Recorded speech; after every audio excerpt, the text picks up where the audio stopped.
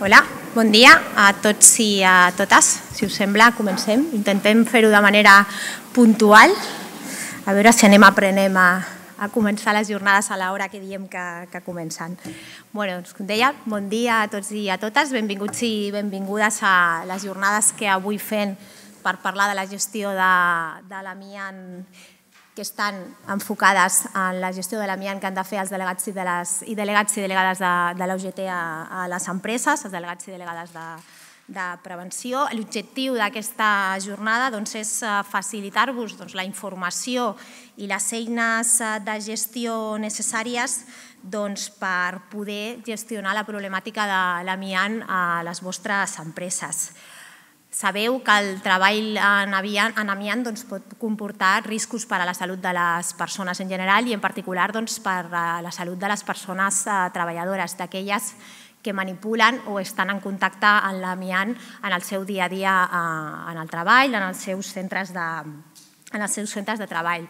En l'actualitat eh, ens trobem en una situació de desinformació, de falta de mesures adients per part de moltes empreses, Uh, últimament hem tingut alguns casos, com és el cas de, del metro de Barcelona, una empresa on treballen més de 3.000 persones uh, treballadores, en la que s'ha detectat doncs, uh, amiant a les seves instal·lacions i que durant el procés de, de detecció i de gestió doncs, els treballadors i les treballadores i en concret doncs, els delegats i les delegades de, de prevenció doncs, s'han doncs, vist en una situació de, doncs, de desinformació per part de, de la pròpia empresa.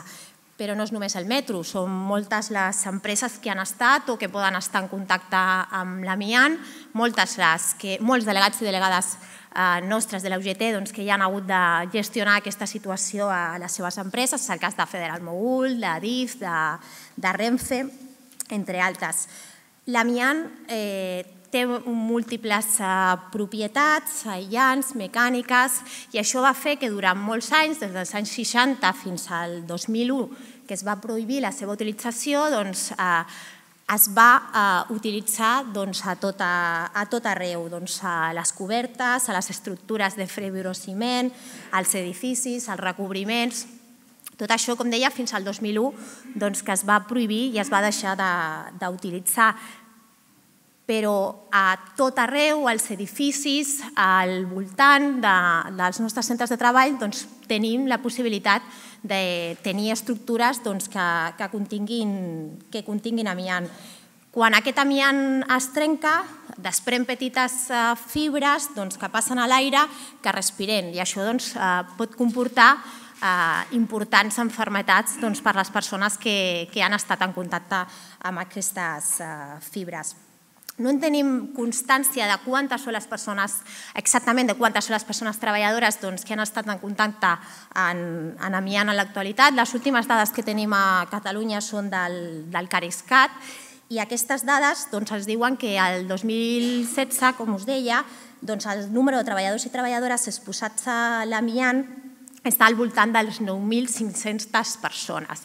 Aquesta és una dada aproximada D'aquestes 9.500 persones, el 80, el 12% perdó, doncs són persones que, que treballen a empreses eh, RERA, empreses que es dediquen a la gestió de l'amiant, i això significa que si el 12% eh, perteneixen a aquest tipus d'empreses, el 88% no són d'aquest tipus d'empresa i, per tant, doncs, són treballadors i treballadores que estan exposats a l'amiant i que en molts casos ni tan sols eh, saben que, que ten, desconeixen, no coneixen que tenen aquesta, aquesta, eh, que estan exposats a aquesta, a aquesta substància.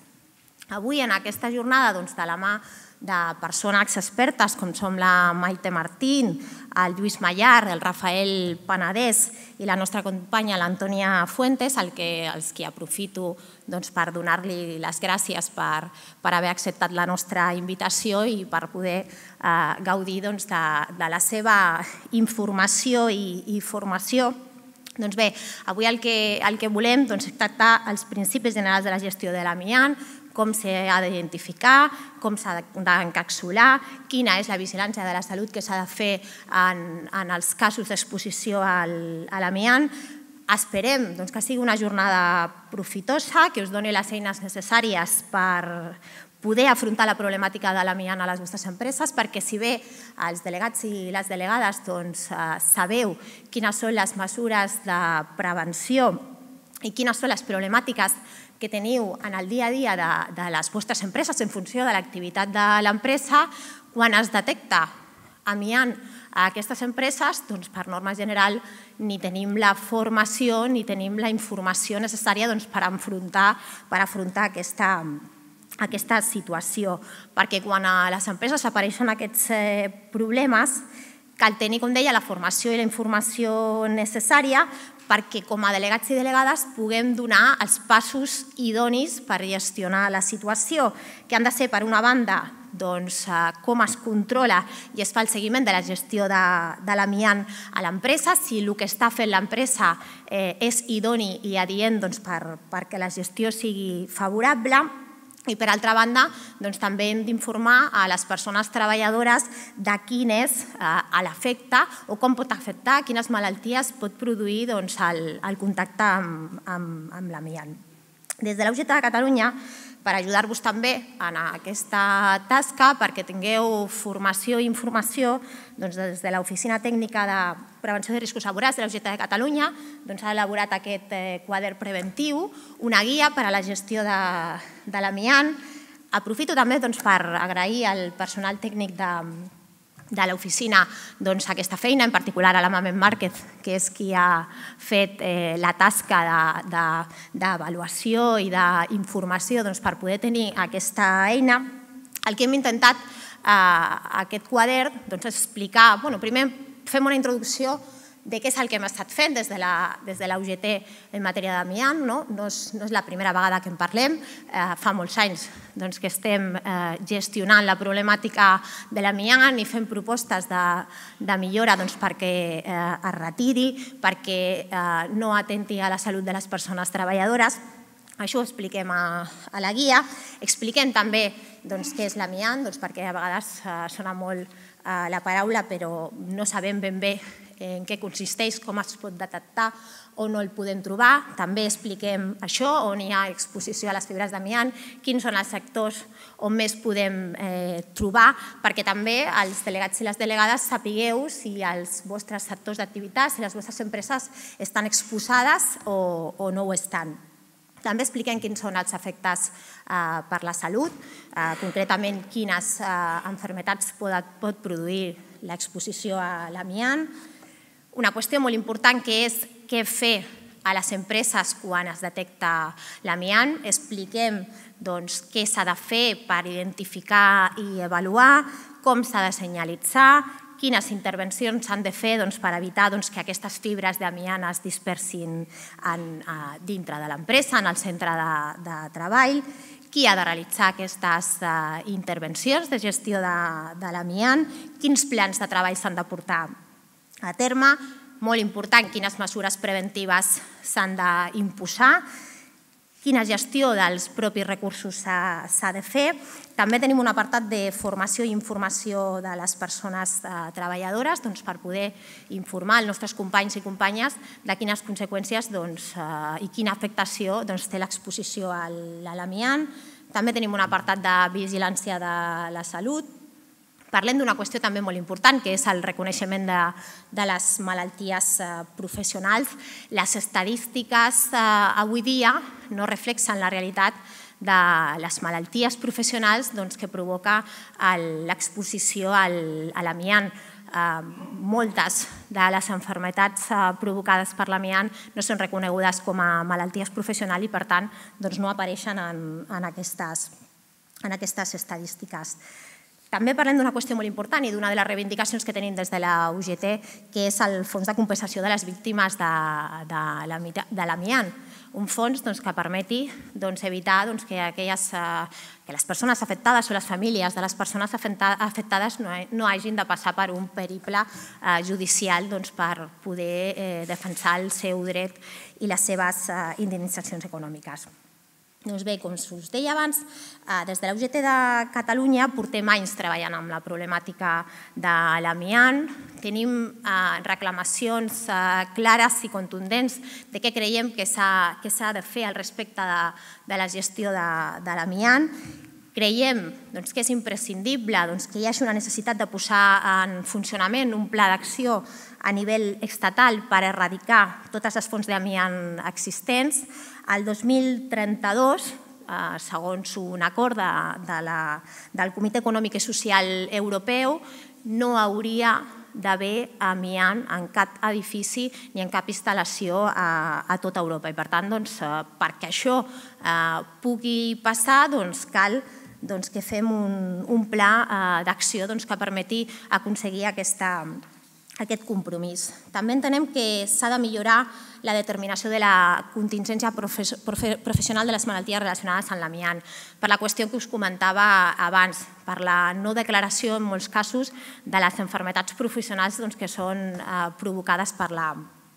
La, també creiem que és molt important la vigilància i el control per part de l'autoritat laboral de les empreses que es dediquen a la gestió de, l'amiant doncs, per comprovar que aquesta gestió d'amiant es fa de manera correcta i sense risc d'inhalació. Una cosa que hauria de ser eh, normal, és a dir, no hauríem d'estar exigint que una empresa que es dedica a, a treure a l'amiant doncs, eh, tingui les eh, condicions eh, necessàries per poder fer-ho en tota seguretat per les persones que, que, que, que estan manipulant eh, les substàncies i també doncs, per la resta de, de persones que estan al, al voltant. Però, si més no, ens hem trobat en situacions de desemiantat, de, de, de, en el cas del metro, per exemple, eh, també torno una altra vegada al metro, perquè fa un moment eh, em parlaven no, d'alguna problemàtica doncs, que s'han trobat de peces que en teoria doncs, estaven eh, lliures d'amiant i que després doncs, s'ha doncs, comprovat que, que no era així. Per tant, doncs, creiem que això eh, és eh, imprescindible i que per tant doncs, s'ha doncs, de, de controlar. També hem treballat el, el tema des de la Comissió de Seguretat i Salut del Consell de Relacions eh, Laborals. Concretament es va crear una comissió tècnica específica d'amiant, de la qual, després de molt temps de feina i de moltes persones implicades a, a nivell eh, tècnic, doncs, eh, s'ha doncs, elaborat una guia de l'exposició laboral eh, a l'amiant a, a Catalunya, que us convido a que la mireu, l'hem enviat en diverses ocasions, la trobareu a la pàgina web de la de Catalunya o sinó també a la pàgina web del Consell de, de Relacions eh, Laborals, però més enllà de la creació d'aquesta guia, que creiem que és molt important, doncs des del sindicat hem demanat doncs, que aquesta comissió tècnica doncs, no acabi aquí, sinó doncs, que continuï eh, funcionant de manera permanent doncs, per poder avaluar el propis, les pròpies actuacions que es determinen en aquesta guia i per poder, dintre d'aquesta comissió, doncs, fer les propostes eh, necessàries doncs, per poder abordar la problemàtica de, de l'amiant a, a Catalunya.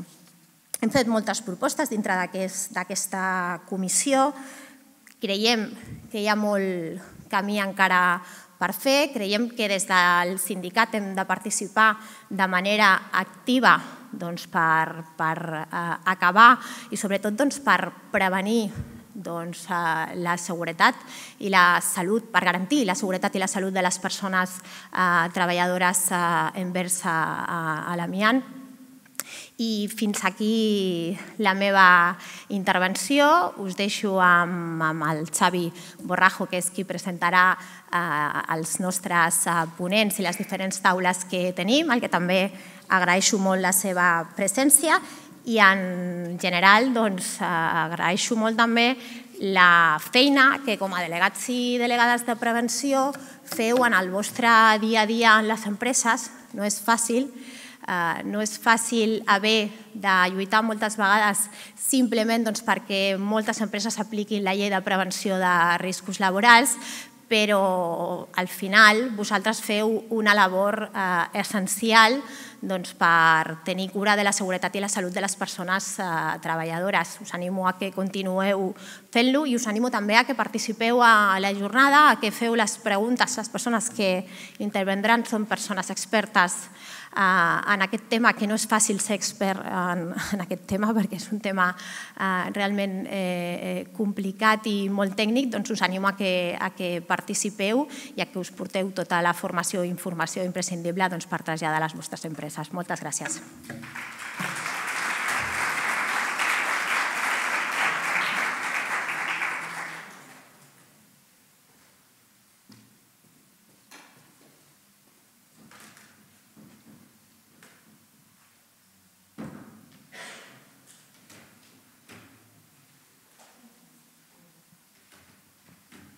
Bon dia. Uh, bon dia. Se me sent bé? Gràcies. Gràcies, Núria. Gràcies a tots vosaltres per estar aquí. Gràcies als ponents. I permeteu-me uh, fer-vos dos recordatoris. El primer, no sé si us heu fitxat, però avui és 8 de novembre. Eh, és un dia que no és per estar de festa, però sí per commemorar. No estem de festa perquè no ho hem aconseguit encara. La llei de prevenció de riscos laborals encara li queda molt de recorregut per arribar allà on voldríem que arribés. Però el 8 de novembre de l'any 1995 es va aprovar la llei de prevenció de riscos laborals. Va entrar en vigor l'11 de febrer de 1996 és un dia per commemorar tots els que estem aquí, tota la gent que ens dediquem a la prevenció de riscos i això. Si s'asseu la Maite, m'assec jo també, perdó. Llavors, eh, això per una banda. Per una altra banda, i robant-li, no, no li robaré res perquè li, després li, li donaré el temps que li toca, però sí robant una mica de temps de la jornada, jo voldria aprofitar i fer un recordatori d'un company que es deia Joan Ferrari. El Joan Ferrari era el responsable de, del Gabinet de Seguretat i Salut Laboral de finals dels 80, principis dels 90. De fet, fins a l'any 96 va ser el, el responsable de, de salut laboral de la UGT de Catalunya. Eh, parlant aquests dies amb la Mamen, amb l'Eduard, eh, ens recordàvem d'algunes coses i una de les primeres coses que recordàvem de, de la feina del Joan Ferrari era un quadern divulgatiu que havia fet en col·laboració amb l'Institut Nacional de Seguretat i Higiene eh, en el treball tot i que no surt el seu nom, ell havia col·laborat, que era un, un quadern que es deia L'amianto i nuestra salut, que és de l'any 1987. Després, eh, jo, mm, quan vaig començar, ja fa uns 25 anys, en qüestions de prevenció de riscos laborals, recordo que, que, que el Joan va ser d'aquelles persones que, en el meu cas, va ser el primer en fer-me saber dels perills que hi havia de l'amiant. Vale? I, evidentment, també ho va traslladar a molta, molta de la gent que hi som aquí avui i de la gent que, bueno, per raó d'edat ja s'ha jubilat i no està aquí. És un dels precursors en, en la preocupació sobre els efectes de l'amiant en, en la salut dels treballadors, en la seva divulgació, com a mínim, jo no m'atreveria, segurament que més, però com a mínim dintre de l'UGT Catalunya, ell és un dels precursors i voldria, voldria fer-li aquest recordatori. També una anècdota amb el, amb el Joan Ferrari. Jo recordo que a principis dels 90, i aquí sí que també l'Eduard va, va participar, vam visitar, vam tenir la possibilitat de fer una visita sindical a un taller de, un taller de frens. En aquella època, si recordeu, els tallers de frens, els frens es feien amb amiant Eh? Llavors els cotxes frenaven millor que abans, que, que ara diuen, o les pastilles es gastaven menys, per dir-ho d'una manera més correcta. Eh, recordo la cara de preocupació de, del Joan Ferrari visitant aquell taller. És que era un absolut desastre. Era, hi havia pols d'amiant per tot arreu.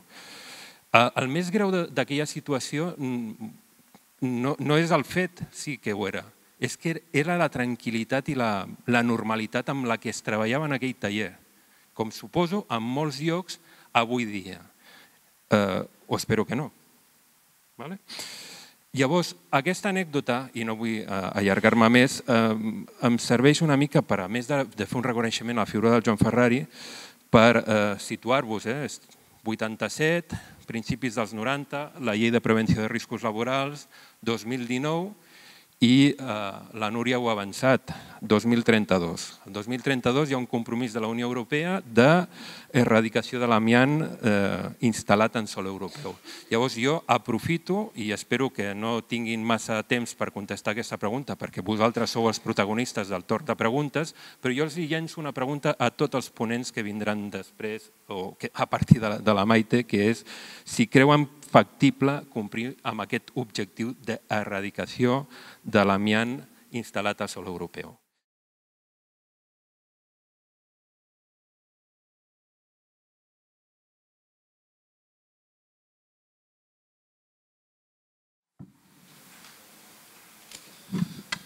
Bueno, com, com podeu veure, juguem amb una mica d'avantatge i estic convençut de que alguna pregunta que heu adreçat a, a la ponent anterior, el Lluís Mallar, a través de la seva experiència, us podrà donar alguna resposta més eh, diguéssim, concreta perquè el Lluís Mallart és el director general d'una empresa de consultoria i diagnòstic d'amiant que es diu ACM 2020. Després no sé si li preguntaré el 2020 si és alguna data relacionada amb algun objectiu, però com abans hem parlat d'un objectiu del 2032, bueno, ja ho podem fer lligar. Eh, és geògraf, higienista industrial, és col·laborador de l'Institut Català de Seguretat i Salut Laboral en qüestions relacionades amb l'amiant, també és membre del grup d'experts en amiant de l'Agència de Salut Pública de Barcelona i ha col·laborat també amb el Consell de Relacions Laborals, amb l'informe d'exposició laboral a fibres d'amiant, ha col·laborat amb alguna nota tècnica de prevenció i també destaca la seva feina en Uh, jo ho resumiré d'aquesta manera, igual no ho faig prou bé, que és uh, la gestió de censos d'edificis amb amiant. Val? O sigui, jo sé que ha participat en organismes uh, públics, uh, alguna diputació, algun ajuntament, en, en com en identificar edificis i com fer aquesta identificació, que és una de les coses que ens ha apuntat abans, important la Maite Martí per saber què s'ha de fer. Eh, sense més preàmbul, Lluís, tens 20 eh, minuts, m'han dit 20-25 minuts. Sí, està, funciona? Sí, en principi sí. Funciona sol? Sí, sí. Se set? Sí? No?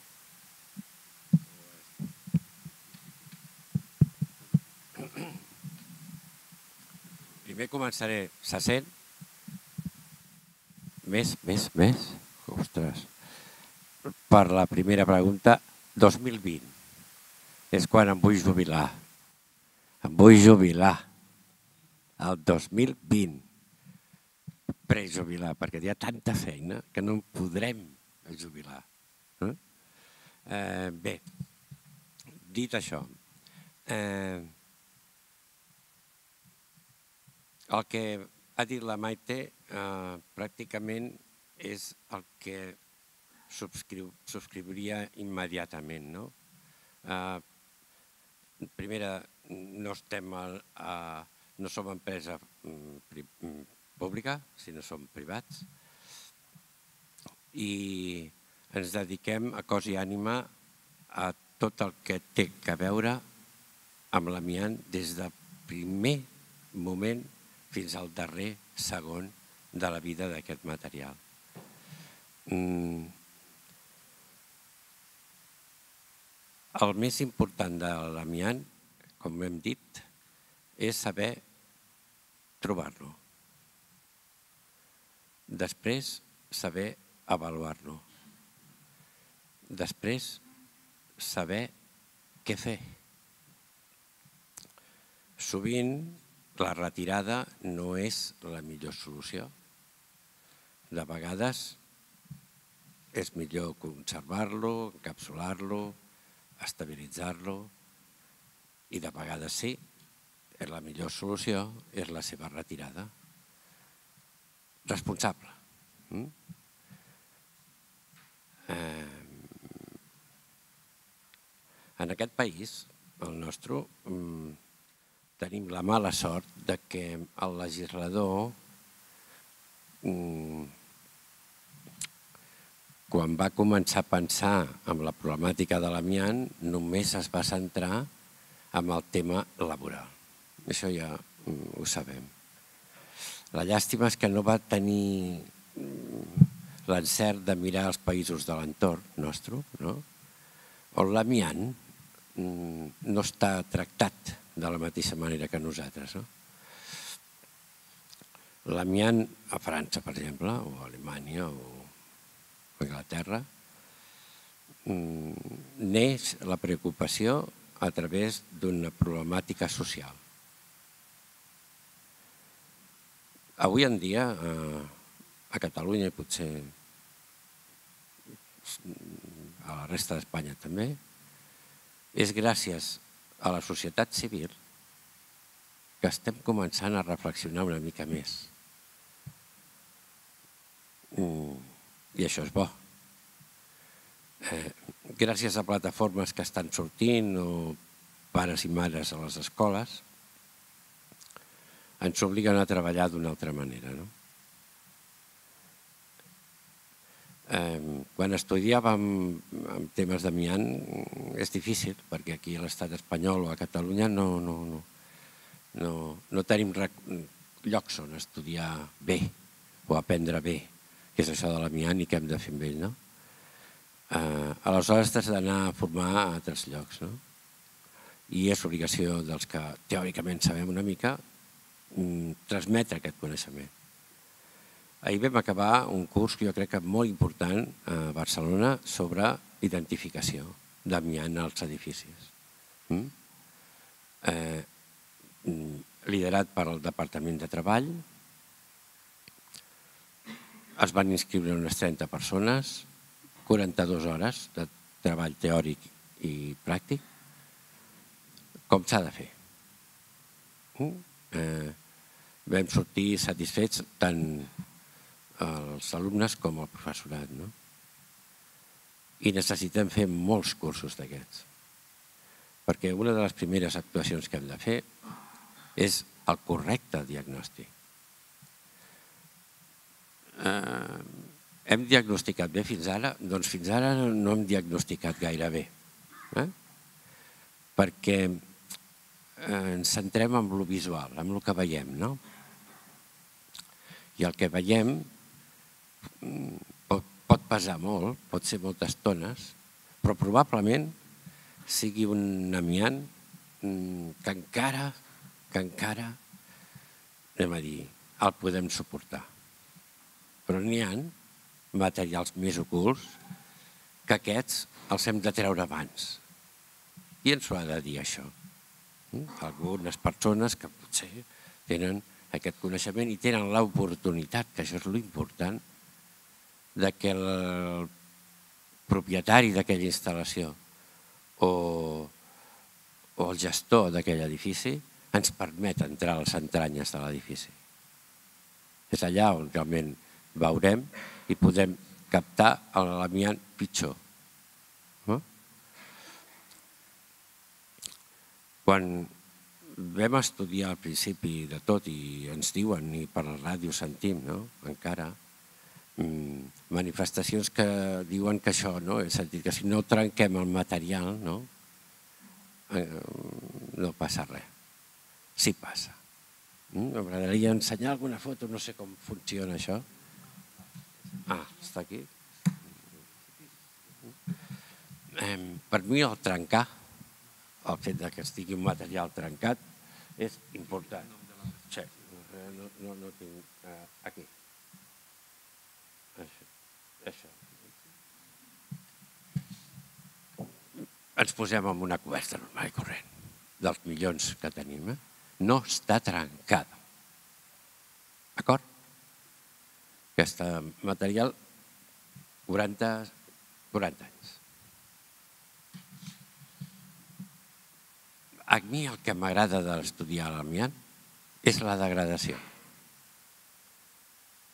Veure de, hem de ser capaços de saber abans de que tregui la primera fibra del ciment, fibro, ciment, ser capaços de detectar que abans que surti la primera fibra l'hem de treure.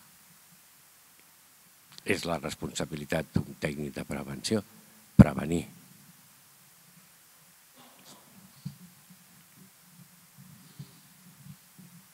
Veieu fibres?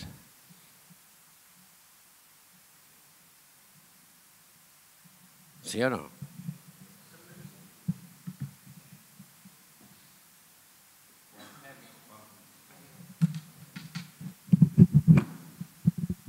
Quan fem estudis de degradació, normalment, sense trencar res, apliquem unes, unes cintes adhesives per mirar de veure què és el que agafem.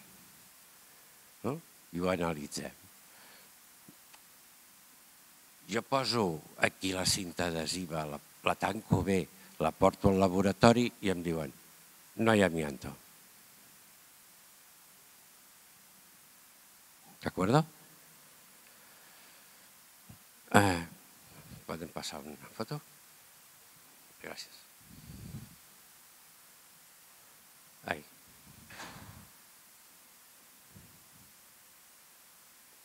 Anem a posar més a prop. Què és això? Fibres. I aquí no n'hi ha. Aquest tros ja ha perdut la vida útil. No està trencat. Això és el canvi de paradigma que la Maite ens deia, no? Hem d'anar cap aquí. És més difícil encara, aquest raonament, fer-lo entendre que no el trencat. Estem d'acord? Perquè això aguanta encara la pluja. Però higiènicament parlant, això ja està degradat. Aquí ja hem arribat tard. És cert, això? Mm. Ens, ens centrem en les cobertes perquè darrerament a Barcelona tots són cobertes, però tenim moltes més coses perilloses, eh? però centrem-nos en les cobertes que ho són molt. Mirem. Mm. Què és això?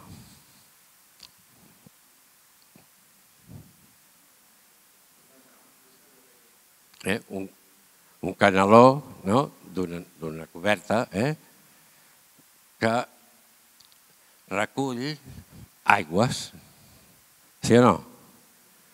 Molt bé. El veiem més gran. Eh?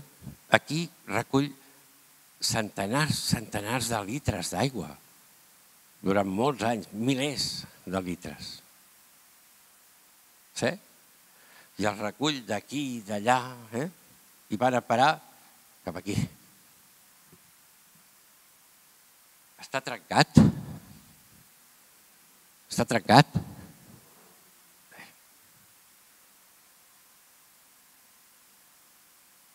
Ah, M'agrada a mi això. Què és això d'aquí? Eh? Com? No. Residu, molt bé. En principi no veig les fibres aquí, eh? Veig que, ostres, aquí hi ha doncs, brutícia que com està, estem en època d'estiu, doncs allà s'ha quedat, fa molta calor, eh? i s'ha quedat aquí aquest borrissol, no? Mm, no es veu molt bé, però aquí acabaria el fibrociment i això ja seria un alumini, em sembla que és. Però a mi m'agrada això. I penso, ostres, i si trobés fibres aquí? Anem a mirar. M'apropo més, no caic pel, pel forat, no caic. Aquí es veu millor, eh? que això ja és un altre material. Eh? L'agafo.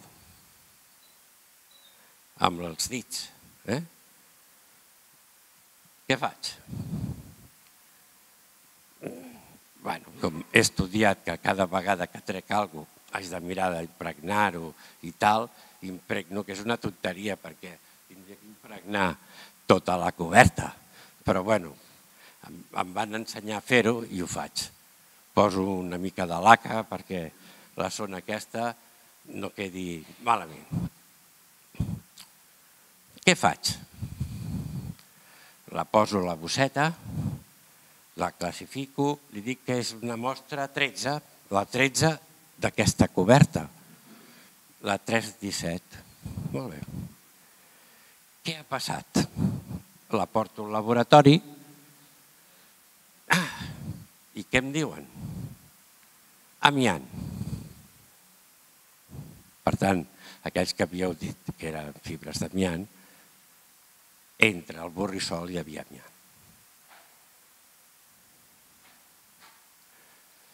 La vam treure d'aquí mm, i aquí veiem tot el procés.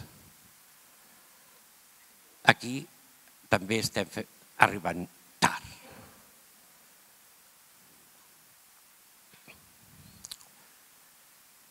Mm, per tant, quan és una opinió molt particular, eh?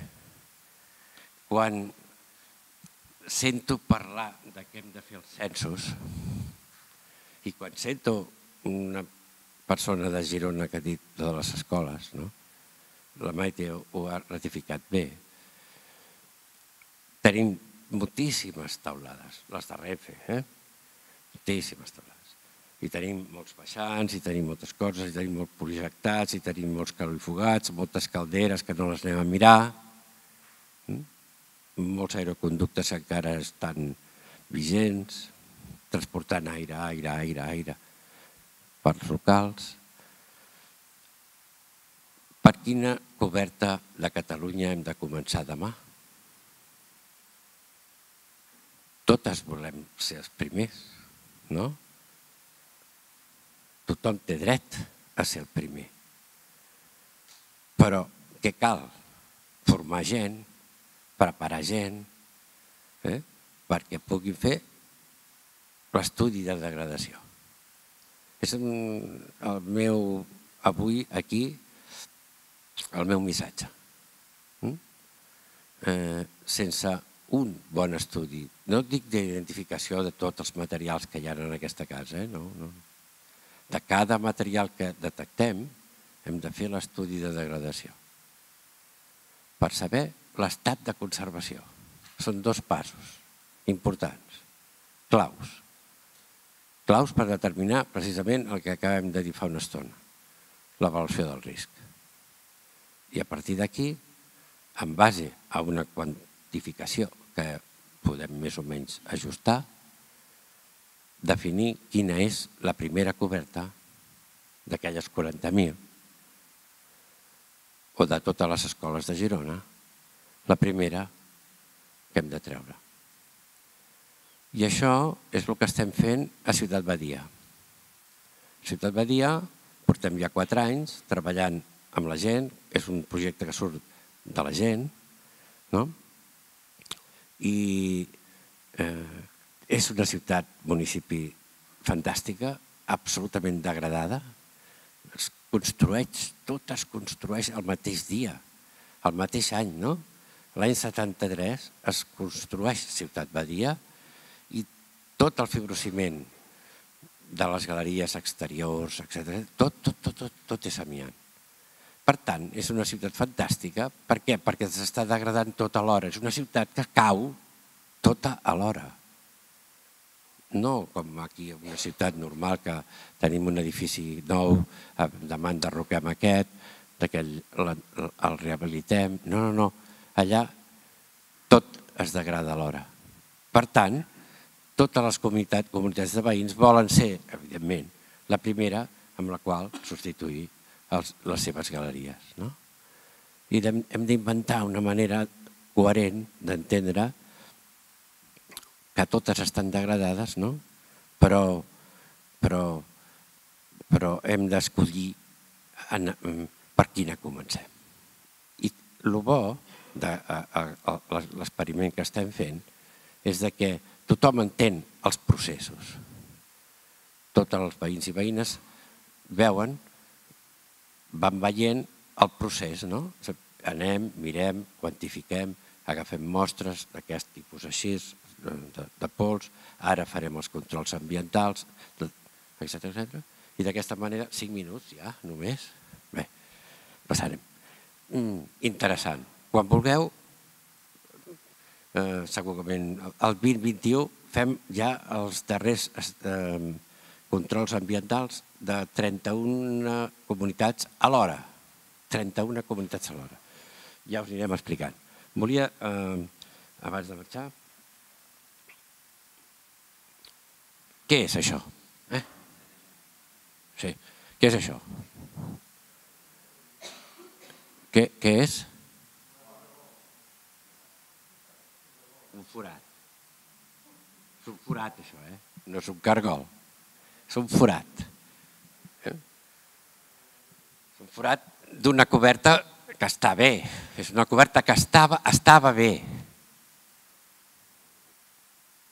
I, I estem començant a treure-la malament.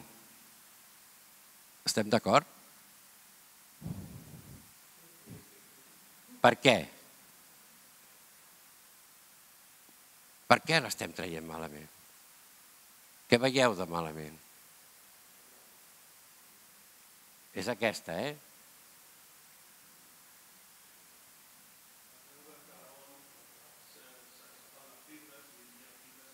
Sí, senyor. Eh? Tot i que aquí ara no es veuen molt bé, perquè la, jo no sóc un gran fotògraf, no? no eh? Estan saltant les fibres. Milers. Mm?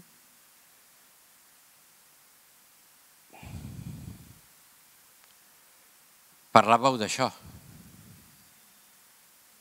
Eh que heu parlat d'això, dels morters? La llàstima d'aquesta construcció, quina és?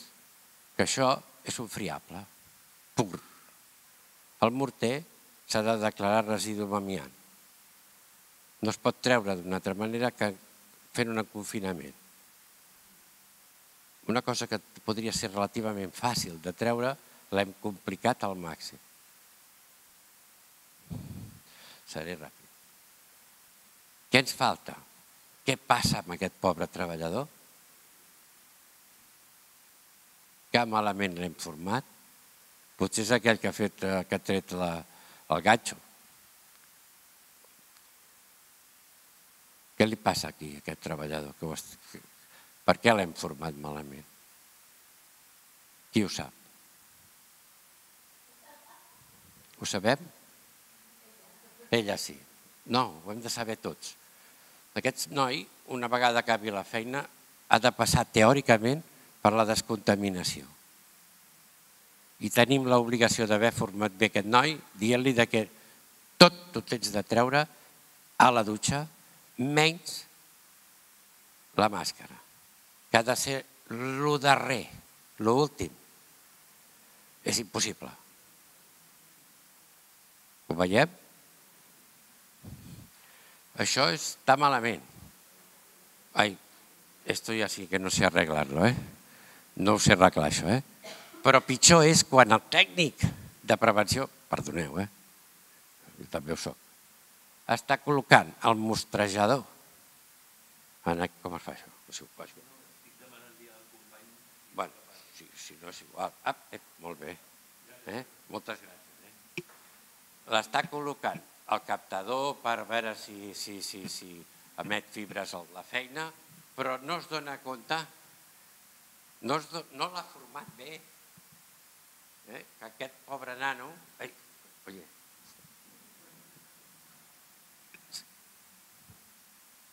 li passa igual. Això sí, molt muntatge, molta preparació, molt de eh, eh, control de fibres, però està malament.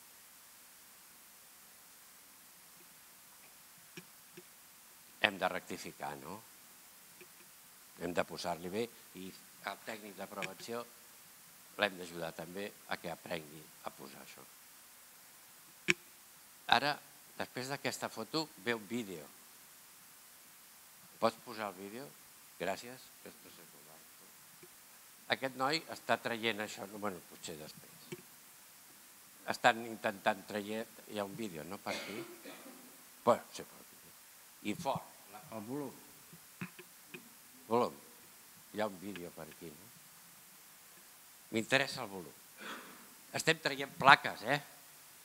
Teòricament, les coses més senzilles, bueno, senzilles per ells no, eh? Mm. Farragoses i, i que, que estigui al cos, això, eh? No, aquesta no, aquest no, aquest soc jo. Eso és. Però no teniu so? Hòstia. Pues res, no val la pena. Eh? Estan pobres treballant, ara aquí no es veu bé, eh? però estan arrossegant. I se sent com les plaques. Eh? Al cap de dues hores aquest treball és molt penós, no? I arrosseguen les plaques, no?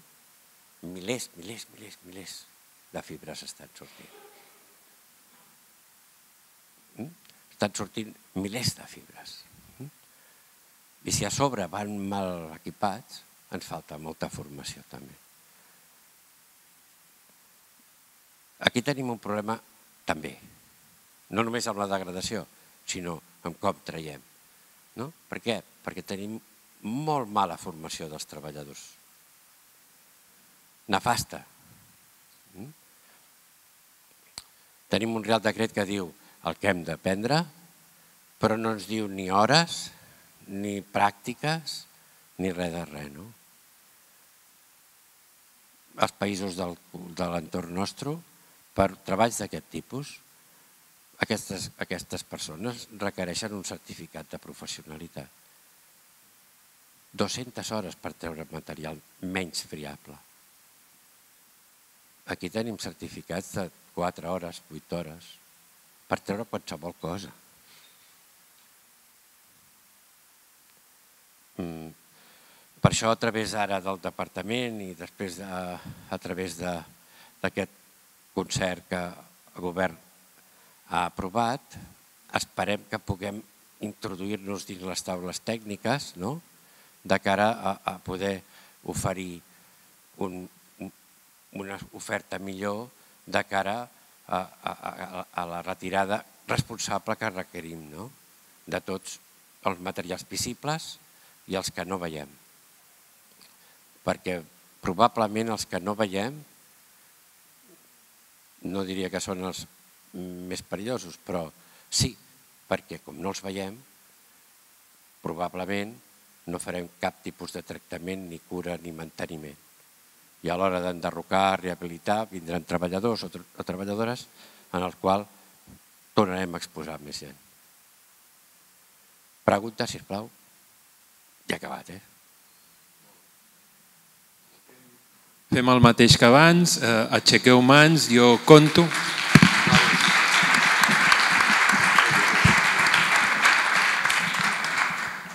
Jo no tinc tanta retentiva com la Maite, per tant, jo, jo... responc...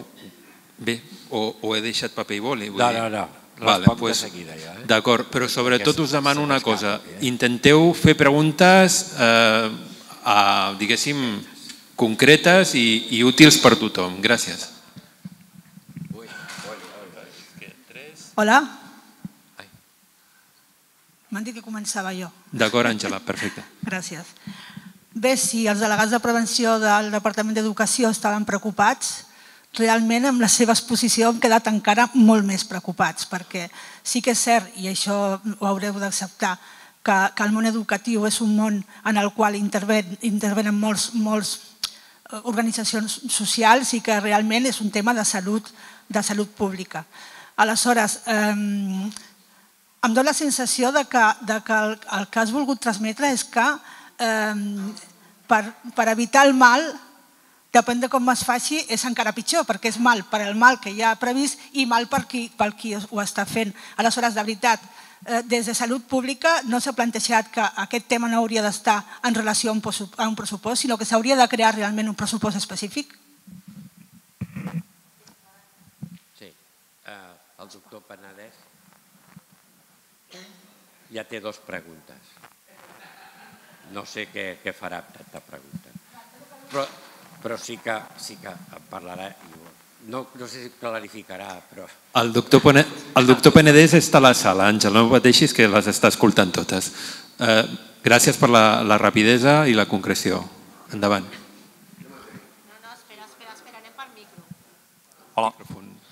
D'acord, eh, delegat de prevenció de l'empresa que s'encarrega del manteniment i neteja de la xarxa Clavegram de Barcelona. La, la meva pregunta és, com has comentat, totes les cobertes i els baixants de, o gran part de les cobertes i els baixants de Barcelona són de fibrociment o d'uralita, que estan constantment erosionades per l'aigua. Um, com podem, com a delegats de prevenció i com a tècnics de prevenció, um, a valorar, a valorar el risc d'exposició de, dels treballadors que estan fent aquesta neteja dintre la xarxa clavegram? Gràcies.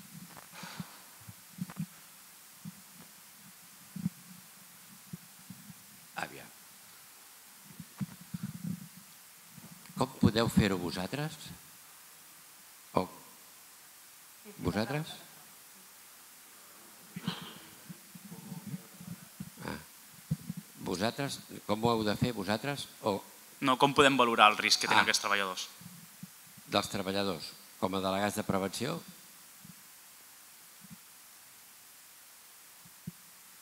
Avaluant, no?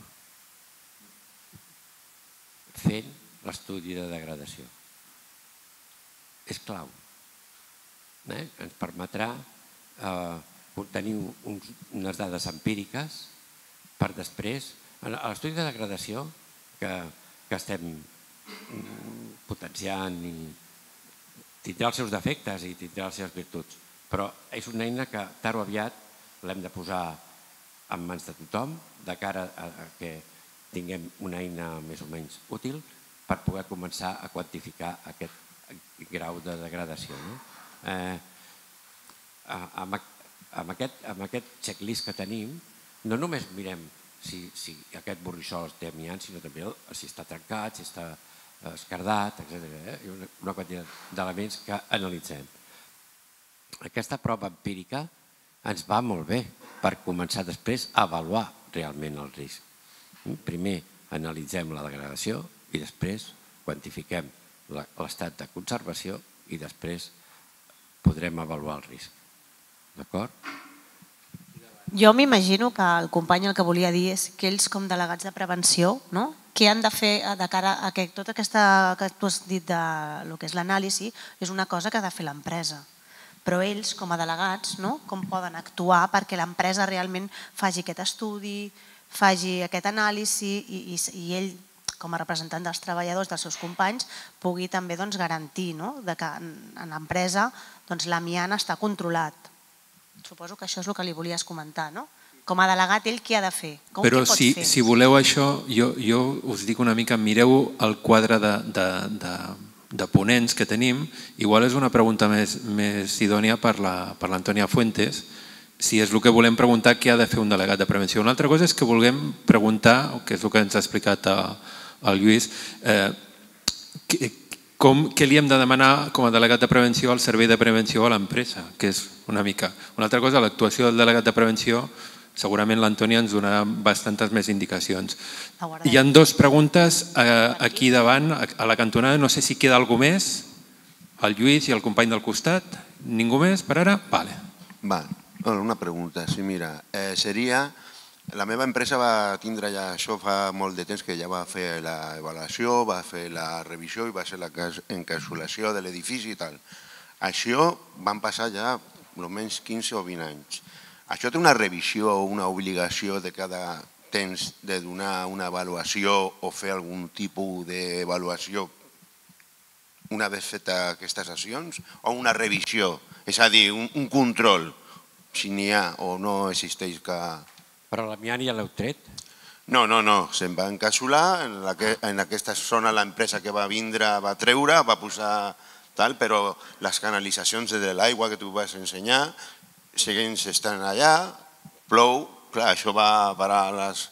Però s'ha fet alguna estabilització, no? Sí, s'ha fet una estabilització. Ara, mi pregunta és, si se fan revisions o periodicitats de revisions, si és obligat o no per llei? Home, de fet, segueix tenint el perill. Clar, això mateix és el per que tant, vull dir. Segueix, segueix tenint el problema. Clar, el que me sembla que a mi que la meva empresa va fer això, el que li vaig dir la llei en su dia, va fer aquesta intervenció i no sé si ja una vegada feta, ja complit, ara ja no, passo de tot. Eh, és lògic, no? Eh, hem fet una, una, una mesura preventiva no? i aquesta mesura preventiva hem d'avaluar l'eficàcia. Ens ho diu la pròpia llei, llei de prevenció. Aleshores, aquesta avaluació de l'eficàcia de l'actuació preventiva ens obliga a prendre mostres, no? una altra vegada, no? en el sentit de dir, bueno, aviam, quin és l'estat de conservació d'allò que ja hem intentat mantenir la vida útil una miqueta més. No? Mireu, a França, per exemple, hi ha inclús una norma, una norma que és pel control de superfícies desambientades o estabilitzades. Periòdicament, les empreses que els elements que per la casuística que sigui han estat encapsulats o estabilitzats, la norma aplica cada X temps, depèn del tècnic que ho hagi avaluat, dirà que dos anys, tres anys, etc etc, depèn de la, de la impregnació que li hagin fet, tindrà que dirà dos anys, mig any, no? depèn de l'agressivitat de l'entorn on està aquest element, les vibracions, el vent. Eh? Per tant, sí que té l'obligació d'avaluar periòdicament fins que no la retiri responsablement. Hola, buenas, soy Luis Vidal, eh, trabajo en la Agencia Estatal Tributaria. Nosotros tenemos muchísimos edificios, tanto en Cataluña como en el resto del Estado, eh, y nos encontramos ante la negativa por parte de la agencia tributaria de informar, de identificar qué edificios eh, bueno, tienen amianto dentro de, estos. Algunos están a la vista porque son cubiertas, grandes cubiertas, grandes superficies, como aquí en el edificio de la aduana principal del puerto de, Barcelona, donde nos encontramos que hay una cubierta deteriorada, con, filtraciones de agua, con parches que han puesto eh, personal de mantenimiento, que no, quizás no debería hacer esa función, parches que han puesto para evitar que, pase el agua, y se niegan eso, a identificar esos edificios, se niegan a efectuar evaluaciones de riesgos de concentración de fibras de amianto en el aire y se niegan, por supuesto, a hacer un estudio de degradación del amianto. Eh, entendemos que, en, estas, en estos cubiertas que encima están próximas a los sistemas de renovación de aire interior del edificio, pues podemos entender que, en un momento dado, en el momento que realmente acabe el fin de la vida útil de estas cubiertas, pues pueden entrar, penetrar esas fibras dentro del edificio y ser respiradas. de hecho ya ha acabado la vida útil, ¿no? Me imagino que sí.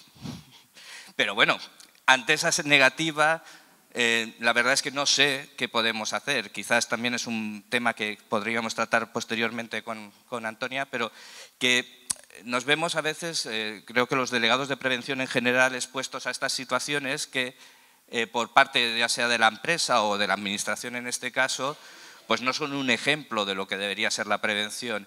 y el tema de identificar, evaluar y de estudiar la degradación no se lleva a término. Me gustaría saber si nosotros tenemos alguna capacidad, no ya solo a nivel sindical, sino como trabajadores exclusivamente, de decir, mm, tenemos derecho a saber si esto es un peligro para nosotros. Eh, lo, responderá, pero seguro que tenéis derecho y obligaciones también a seguir eh, manteniendo eh, la exigencia de no, no solo esto, sino mm, del estudio de degradación. No que os hagan pruebas ambientales, ¿eh? porque los ambientales para determinados tipos de amianto no nos van a resolver absolutamente nada y los resultados van a ser cero y con esto las direcciones, las empresas eh, se, escudan en esto. ¿no? Lo que nos interesa es evaluar si hay, quedan fibras tanto por dentro, por, por, la parte interior, como la parte exterior, que también es muy importante. ¿eh? A veces tenemos cubiertas en las cuales el estado de degradación lo estamos estudiando por encima. No, no, no. El estudio de degradación también es por debajo. ¿eh? Porque a veces tenemos las GTs por debajo. ¿Eh? Por tanto, ya sabemos que hay una degradación por arriba, la estudiamos, pero hay otro tipo de de degradación que tenemos por debajo. ¿eh? Por tanto, hay que exigir los estudios de degradación.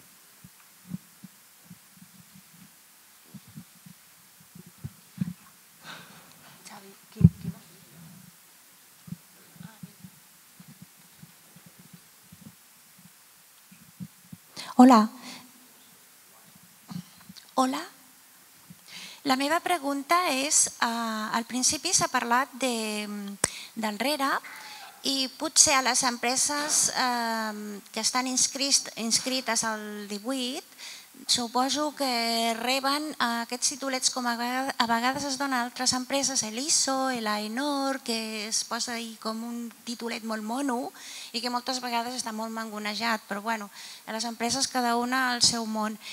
És més que res saber si al RERA és potser l'organisme, les empreses que es poden afegir per aquest estudi, per d'alguna manera col·laborar, no? perquè sembla que és l'únic organisme que ho permet no? No, no. no sé, pregunto, eh? O si hi ha un altre, no, no o simplement la Generalitat ho portarà a, a llarg termini, a curt però, termini. Però la pregunta quina és? Sí, si hi ha algun... A veure, les empreses volen mm, demostrar que estan dintre de les normatives. seria viable, per exemple, amb un tipus ISO o un altre tipus de certificació? Ja. Pregunto, és per curiositat, perquè sí. jo he estat Aquí en una no empresa ha, industrial aquí, i... Sí. Bueno. Aquí no hi ha res. No hi ha? No, no hi ha res. No hi ha res, vale. Vale, vale. Tú Gracias. Te, eh. Tú te inscribes y a sacar el viento. No. En, en otros países te inscribes, llevas cinco años evaluándote la administración, dos o tres veces al año y hasta que consigues la acreditación. Aquí no. Todavía no hemos llegado a eso. Supongo que més aviat, més endavant, amb aquestes taules que es tenen que anar muntant, puguem variar una mica aquest rere i fer-lo més qualitatiu, no? perquè no passin aquestes coses. No? A veure, hi ha un company que vol fer una altra pregunta. Algú més? Última oportunitat i, si plau molt ràpid perquè anem fora de temps i la veritat és que els ponents valen la pena, però després a mi, em, bueno, sort que no està la Núria, però m'estirarà les orelles per acabar tard. Vale? Ningú més? Doncs pues endavant. Eh, hola.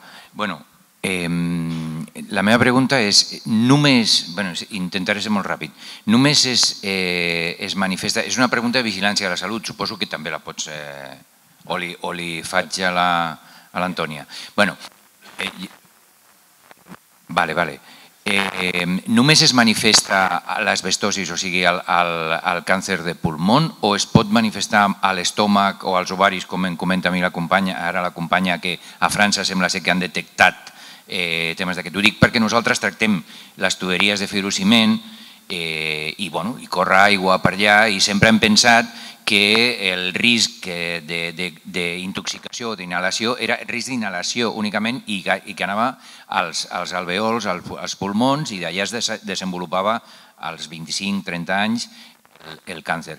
En aquest cas, hi ha més eh, supòsits de càncer també? En aquest, se, se poden donar? Penedès.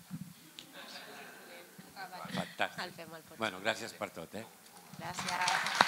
Luego recordamos, luego recordamos, Bueno, esteu veient que eh, a mesura que, que anem avançant en el tema se'ns van generant més problemes i la cosa es va complicant. Moltes gràcies a Lluís Mallar, director general d'ACM 2020. Ja sabem per què es diu 2020 i eh, eh, bueno, donar-li les gràcies en nom de la UGT i la veritat és que a mi m'està generant molt interès les dues primeres ponències i estic segur que les dues següents també.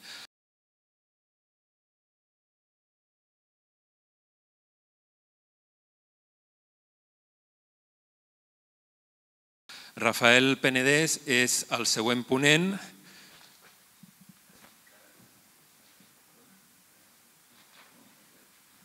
Pues llavors jo faré la presentació, m'aniré d'aquí, després tornaré.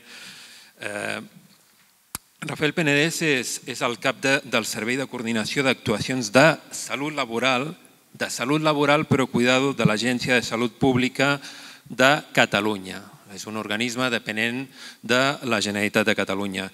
Ell és llicenciat en Medicina i Cirurgia, també és especialista en Medicina del Treball, com els nostres anteriors ponents també i, i també l'Antònia que vindrà després són tècnics o, o experts o um, tenen les tres disciplines en prevenció de riscos laborals, però ella a més té la de Medicina al Treball. Treballa des de l'any 1992 a la Generalitat de Catalunya, primer al Departament de Treball i des de fa dos anys ocupa l'actual càrrec al Departament de Salut. I a nosaltres ens va dir que des de que treballa a l'administració treballa en temes d'amiant, o sigui, és un autèntic expert, però com els companys que, que l'han precedit a, a les ponències i com també l'Antònia. La, jo et deixo eh, endavant i després fem ronda de preguntes.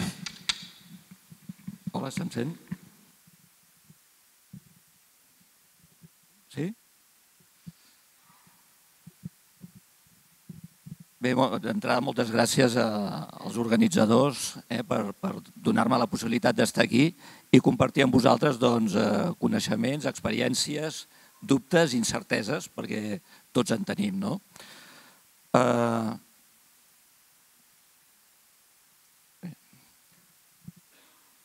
la, la, La vigilància a la salut és una, de, és una funció de la medicina del treball i és una de les eines que tenim per, per, per fer prevenció a, a les empreses. No? I és, però és una eina que perquè sigui realment útil doncs, eh, s'ha de fer coordinadament amb la resta d'activitats preventives i col·laborativament, no? ja amb, la, amb, les, amb les mesures tècniques i organitzatives.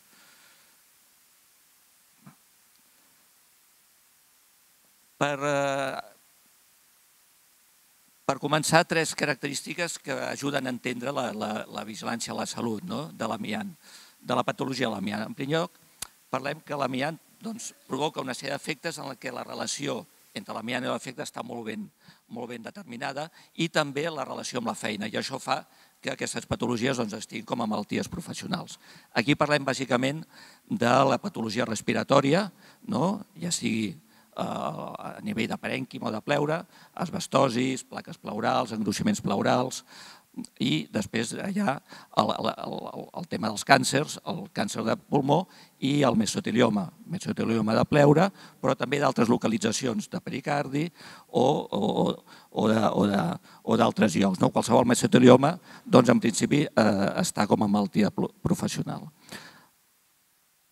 Sortit abans, no? heu preguntat doncs, si el tema d'altres càncers.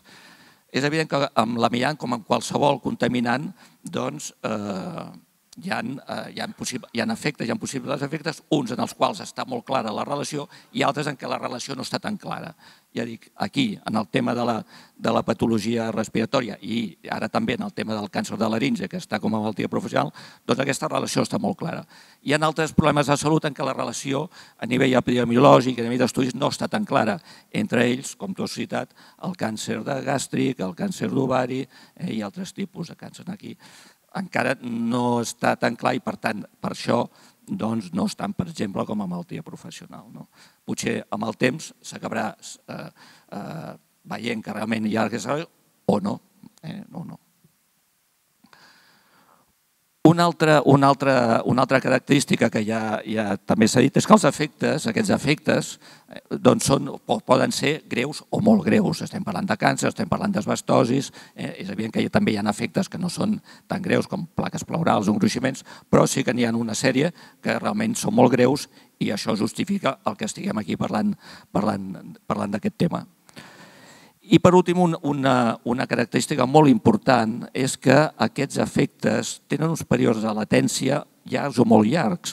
Eh? Període de latència que vol dir des del moment en què s'inicia l'exposició al moment en què es produeix el dany. Estem parlant de períodes que en el cas més curt i sempre amb exposicions intenses doncs poden ser de 5-10 anys en el tema doncs, d'un doncs, vessament pleural, d'alguna placa, però que en la majoria de, de, d'efectes, de, bàsicament càncers o també esbestosi, estem parlant de períodes de 20, 30 o 40 anys o més en el cas del mesotelioma. Per tant, pot trigar molt temps a aparèixer l'efecte, bàsicament el, els càncers. I això doncs, a vegades dificulta el que puguem, quan apareix aquest efecte, que la persona igual ja està jubilada, doncs relacionar aquell, aquell problema amb una exposició anterior a amiant.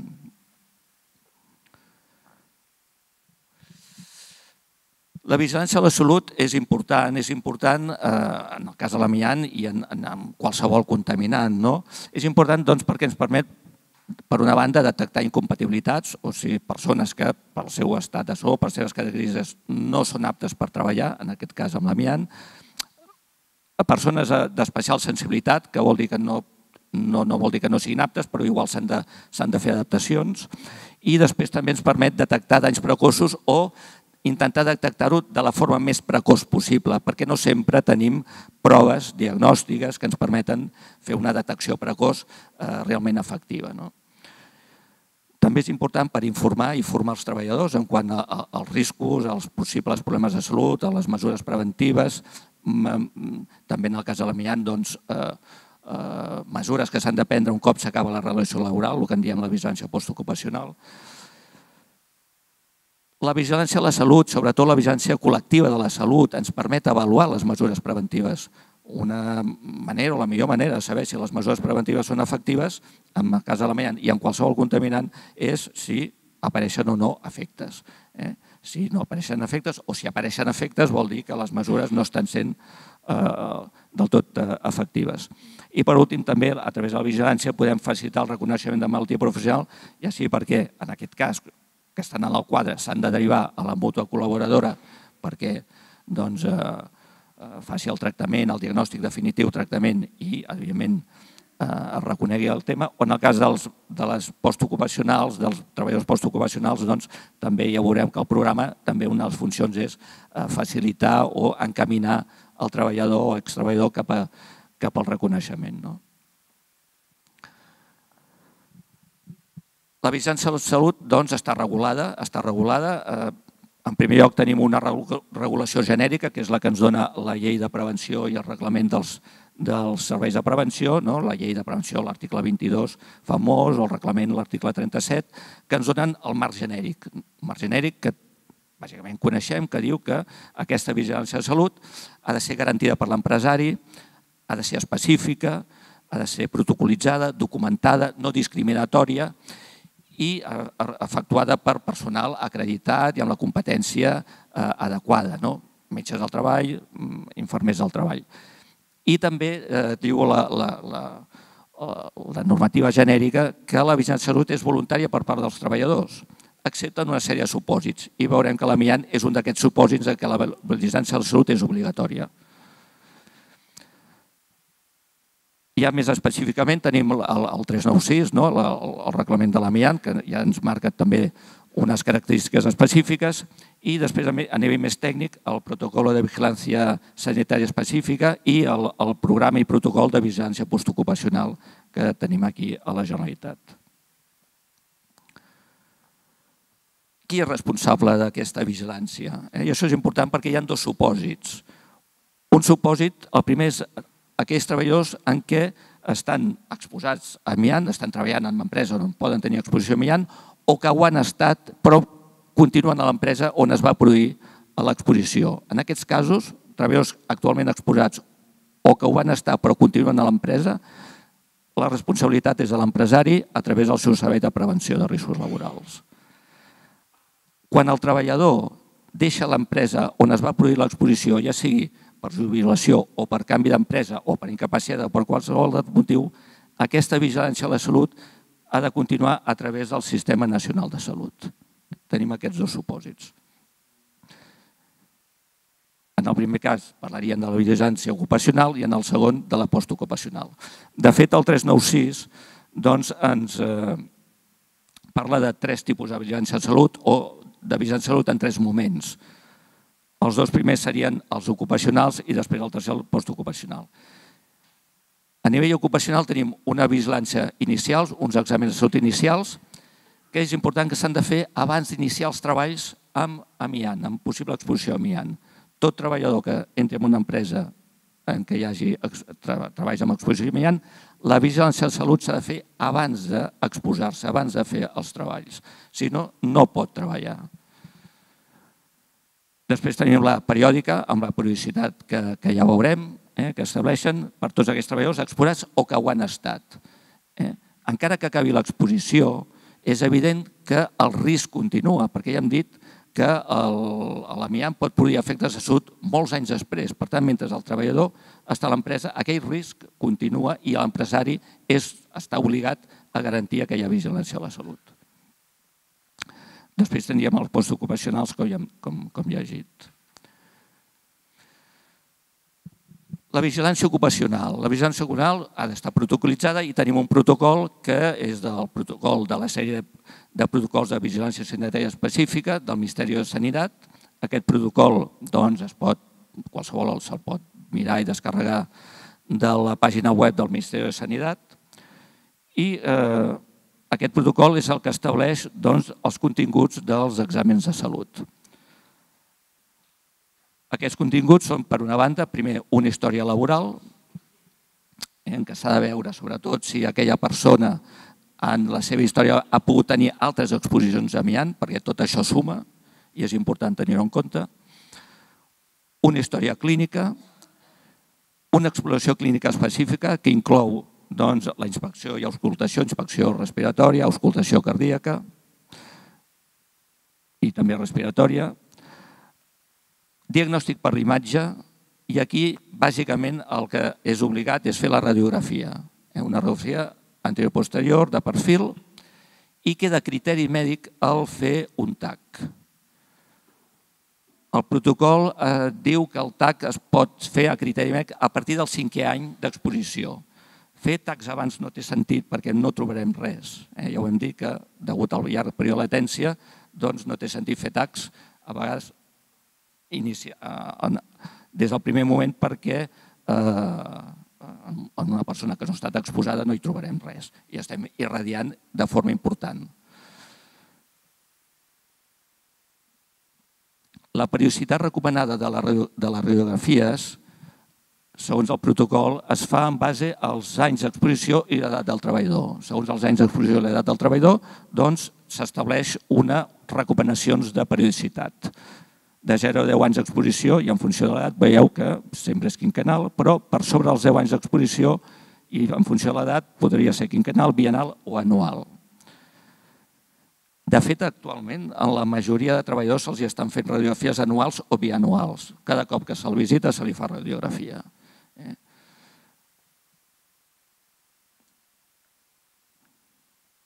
L'altre és quan, en quins són els criteris que s'utilitzen per decidir si eh, val la pena fer un TAC o no. Aquests són els criteris que hi ha en el protocol, són criteris de la CEPAR, la CEPAR és la Societat Espanyola de Patologia de l'Aparell Respiratori, i com veieu, doncs bé, quan, quan realment convé fer un TAC?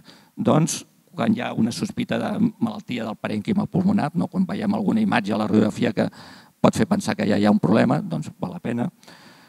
Quan hi ha canvis en el parènquim, en la, en, en la radiografia, respecte a, a exàmens anteriors, i aquí vull dir una cosa que és que és molt important en la vigilància de la salut de l'amiant i de qualsevol problema de salut fer una avaluació, comparar els exàmens de salut. Un dels problemes que trobem a nivell, quan es fan exàmens de salut, és que bueno, tot fan un examen un any, l'any següent en fan un altre, l'any següent però ningú compara. Jo no he vist mai que diguin aquest senyor està millor igual, no es comparen. Doncs és important comparar el, el, els, el fer un seguiment de la, de la salut de la persona. Aquest seguiment és, és el que és interessant. Quan hi ha augment del gruix o extensió de les plaques, quan apareix dolor pleural a les plaques, no? que abans no hi era, quan hi ha alteracions a les proves de funció respiratòria, i això fixeu-vos també en relació al que deia, quan hi ha una caiguda de les proves de funció respiratòria per sobre del que seria normal amb respecte a reconeixements previs. Quan tu fas eh, proves eh, respiratòries, eh, espirometries forçades, pot ser que facis un any una espirometria, estàs per sobre dels valors de normalitat, bé, l'any següent li fas una altra, estàs per sobre els valors de normalitat, bé, fas un altre, però igual si els compares veus que aquests valors de normalitat cada cop són inferiors, que hi ha una curva descendent. Això ja t'està indicant que ja hi ha algun problema. Eh? I veus que si això continua, en dos anys aquelles proves ja estaran per sota la normalitat bé. Doncs això vol dir que hi ha alguna cosa. Per tant, és molt important aquesta comparació a nivell de la vigilància a la salut.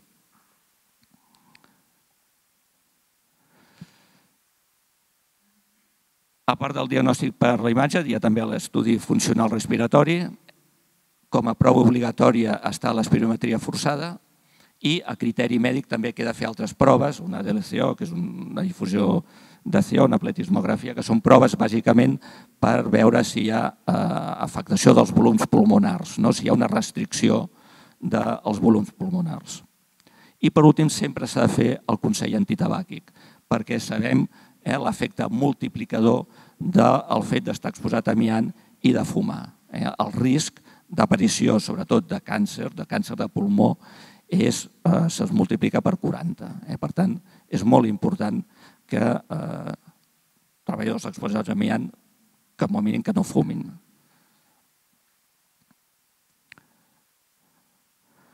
La periodicitat que recomano que estableix el protocol és de dos anys, cada dos anys. També és cert que moltes empreses fan reconeixements cada any. Bueno, mm, com a mínim cada dos anys s'hauria de fer.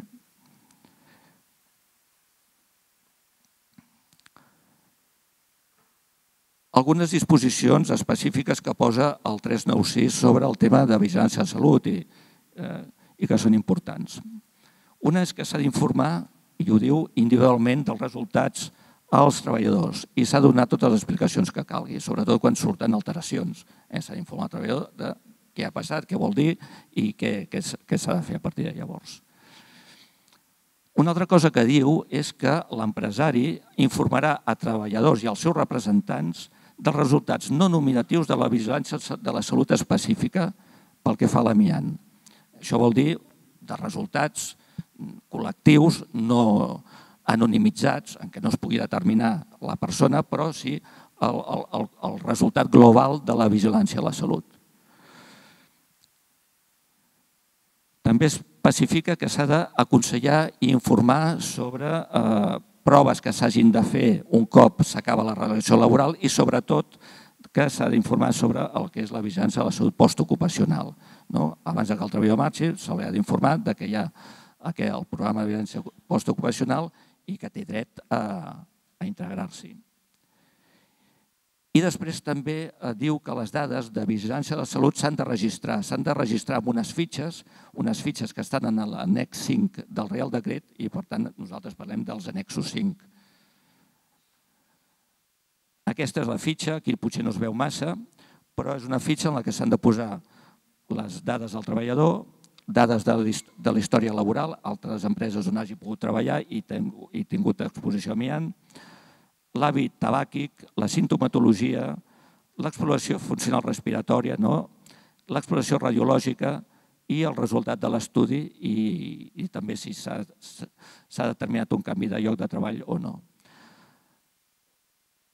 Aquestes fitxes s'han d'enviar, han de ser enviades pel metge responsable a l'autoritat sanitària del lloc on estigui registrada l'empresa abans de finalitzar l'any.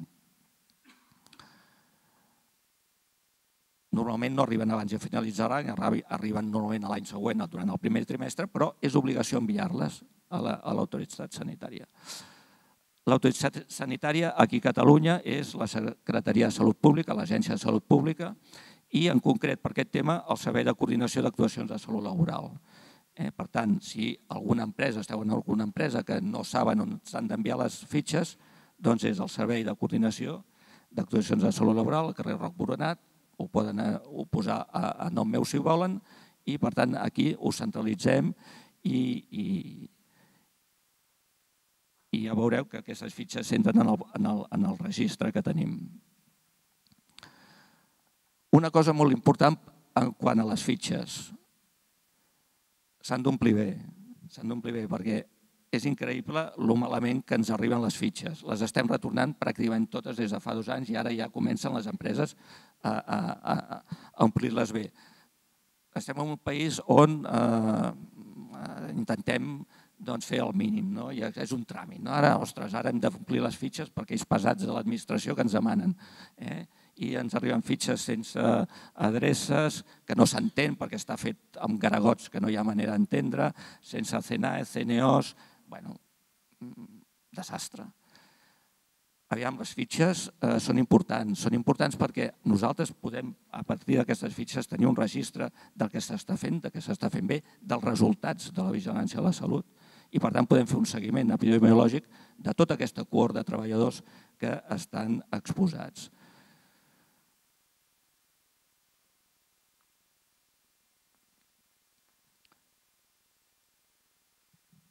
També diu el decret que en ocasió de l'extinció del contracte s'ha d'entregar al treballador un certificat amb les dades que consten en els annexos 5. Un resum de les dades que consten. També diu que s'ha de posar les dades que consten d'exposició ambiental en l'annex 4. Eh?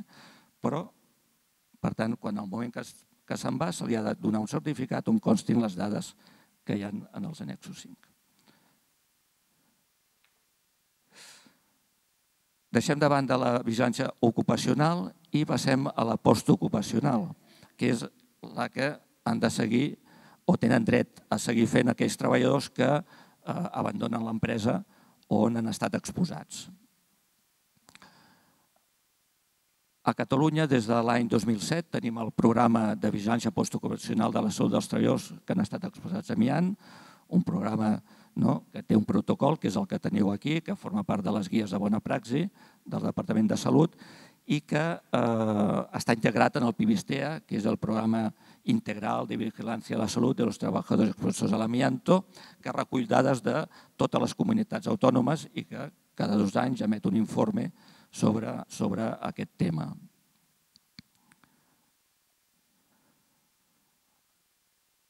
El programa es va marcar i es marca tres objectius, que són els que veieu aquí. Per una banda, identificar treballadors que han estat exposats a l'amiant, determinar si aquests treballadors han desenvolupat alguna patologia relacionada amb l'amiant i fer un seguiment integral i coordinat d'aquests treballadors i col·laborar perquè es reconegui, si és el cas, no? la malaltia professional. Això, el protocol aquest el podeu eh, obtenir a internet del Departament de Salut, El, el, el programa va establir tres fases, o té tres fases. Una primera fase era l'elaboració del registre de treballadors exposats a l'amiant, l'RTA. Aquest, aquest registre ja està, està, està fet, està actiu, i el que hem de fer ara doncs, és anar-lo alimentant i, i, i actualitzant. L'RTA s'alimenta bàsicament dels inclou treballadors exposats i postexposats, i s'alimenta dels anexos 5, per això és important que els anexos 5 estiguin bé, i després dels treballadors que, a partir del sistema públic de salut, a través del metge de capçalera, doncs arriben i entren, entren al programa. La següent fase és l'accés al programa i la realització dels exàmens. No? Pot accedir al programa qualsevol treballador que tingui la consideració de postocupacional, o sigui, qualsevol treballador que ha estat exposat a amiant i que deixa l'empresa on es va produir l'exposició. Qualsevol treballador pot, pot entrar. Els següents passos és la realització de l'examen inicial o d'entrada i a partir dels resultats d'aquest examen doncs, es fa el seguiment eh, que es cregui convenient, com veurem.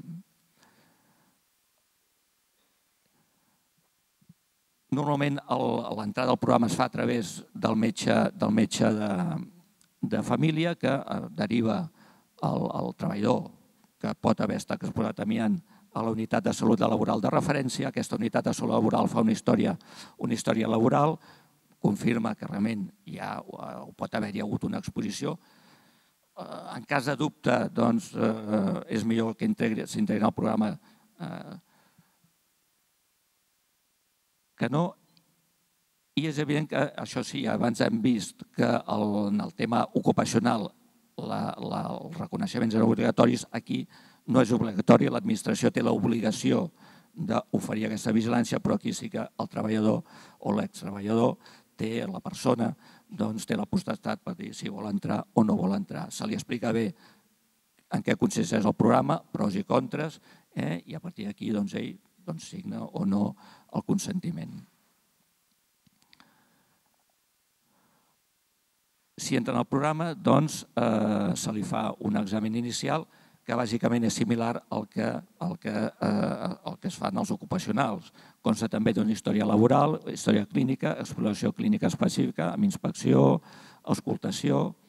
Diagnòstic per l'imatge també consisteix en una radiografia de tòrax, front i perfil, i també queda a, a criteri del pneumòleg perquè això, el, un cop s'entra el programa, la unitat de salut laboral, doncs deriva el, el, la persona al servei de pneumologia de referència, de l'hospital de referència, que és qui realment fa l'examen de salut i avalua totes les proves. També un estudi funcional respiratori amb una, amb una experimentaria forçada i també a criteri mèdic que he de fer altres proves. I després sempre hi ha el Consell Antitabàquic, que això també ja es fa a la unitat de salut laboral.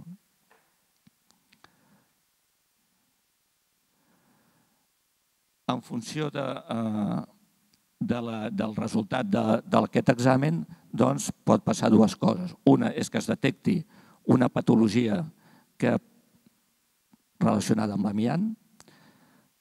En aquest cas, el seguiment ja es fa a criteri del servei de pneumologia, és el servei de pneumologia que decideix quin seguiment, quina, quina periodicitat hauran de fer. No?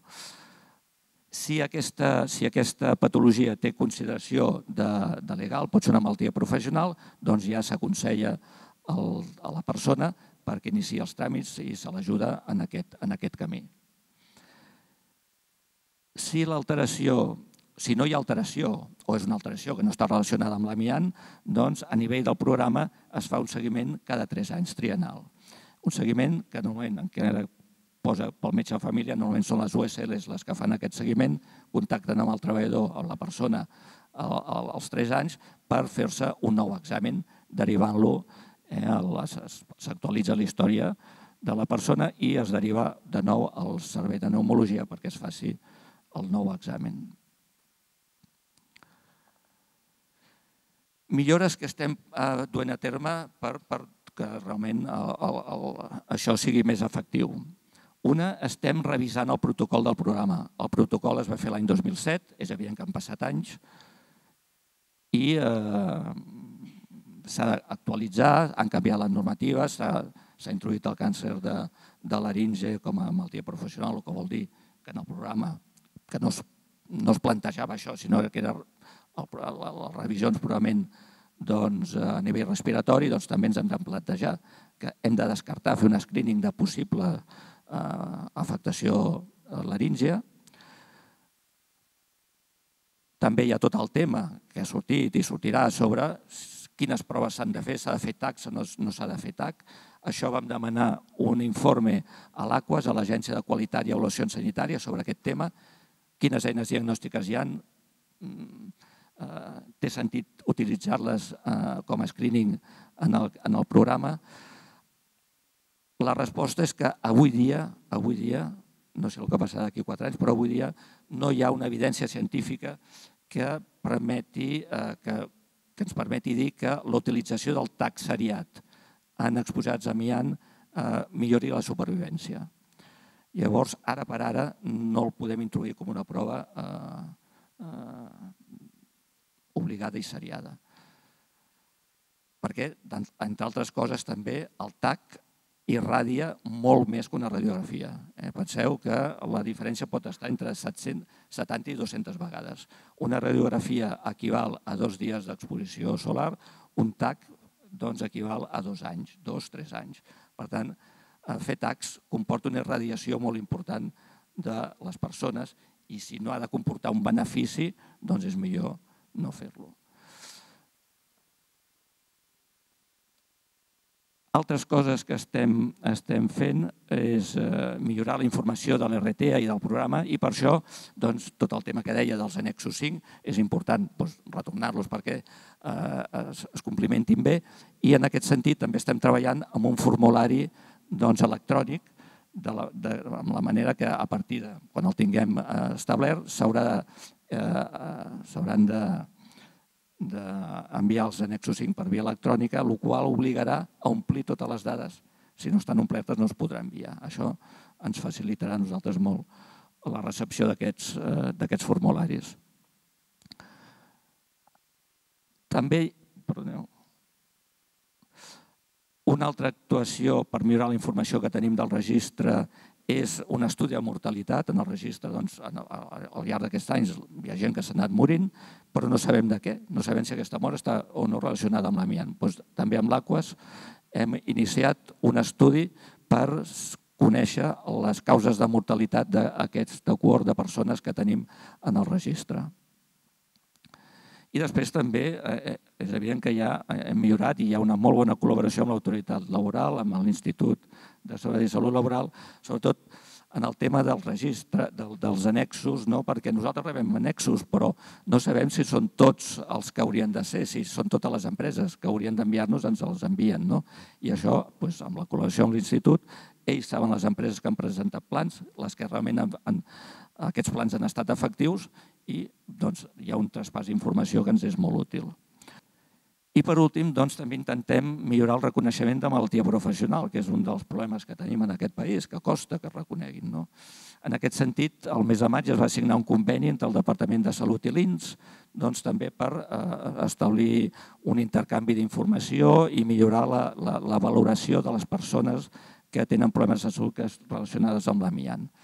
Bé, és molt recent, veurem si realment serveix perquè es faciliti el reconeixement de les malalties professionals per amiant, sobretot en el cas de, del càncer de pulmó. En el cas del mesotelioma no hi ha problema perquè pràcticament l'únic contaminant que sabem que el produeix és l'amiant. Però el càncer de pulmó, que tenim el tabac, doncs a vegades això dificulta que reconeguin els càncers de pulmó per amiant. I ja per acabar, no? per acabar és evident que la, la vigilància de salut és important, és necessària, és útil, sempre que es faci bé, però, i ja s'ha dit aquí, eh, la millor prevenció és la no exposició, és evitar l'exposició. I això què vol dir? Això vol dir treballar bé. Treballar bé, ho ha dit la Maite, ho ha dit el Lluís. S'ha de treballar bé, s'ha de treballar en condicions, s'ha de formar bé la gent, s'han de respectar els protocols i si treballem bé no ens exposarem i si no ens exposem no hi haurà malalties relacionades amb l'amiant. Res més, moltes gràcies.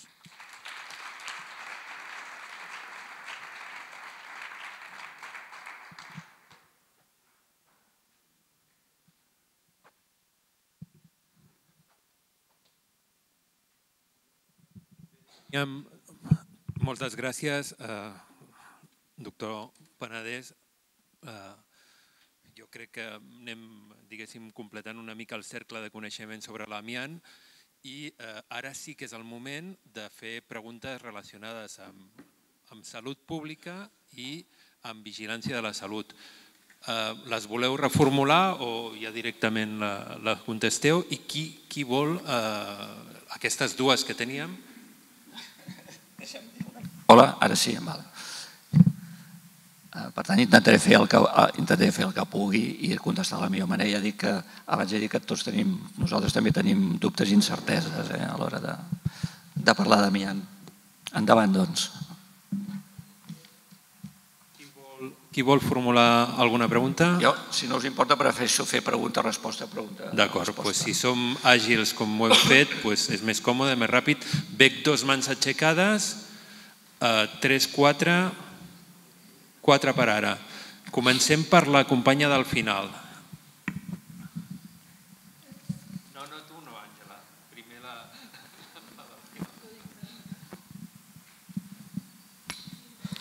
Hola, me llamo Rocío y soy trabajadora de limpieza de Metro. Y mi pregunta es, eh, tenemos un compañero que se jubiló, ha estado más de 30 años trabajando en Metro, pero eh, en esta ocasión el enfermo de cáncer de pulmón no es él, es su mujer.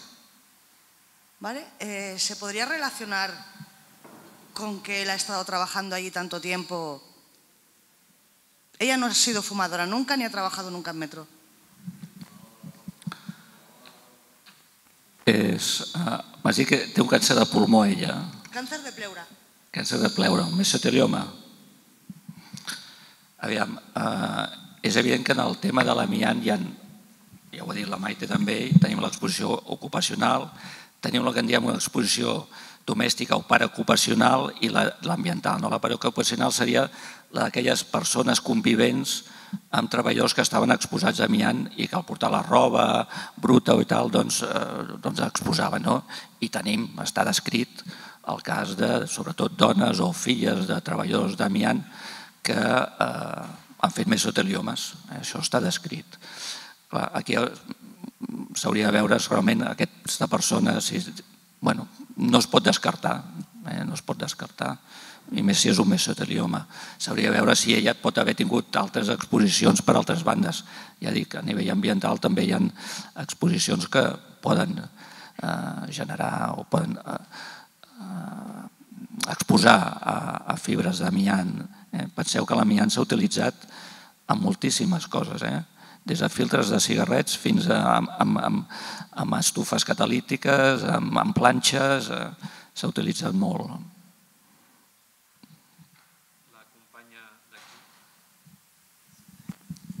Bé, com comentaves tu mateix, mm, és cert que s'ha fet una exposició de la, de la dimensió que té l'amiant a nivell social, o sigui, és, és, és cert que està a tot arreu, no únicament al món escolar, sinó que eh, a les empreses, eh, al carrer, vull dir, és cert que té una dimensió molt gran.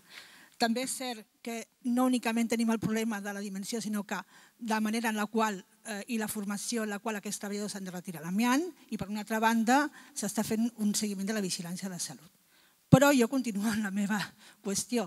Sé que jugues el paper que jugues en aquests moments aquí i, evidentment, en Pere Aragonès, el conseller de Vicepresidència i Economia, no hi és per poder-me respondre, però sí que m'agradaria saber què és el que penses respecte a que no fora millor mm, retirar adequadament l'amiant que, està, que, que està actualment a la societat i, i realment fer, fer una partida específica en el pressupost que gastar en sanitat tots els tractaments que s'estan gastant per la cura o per la eh, resolució del, dels diferents càncers que s'estan produint?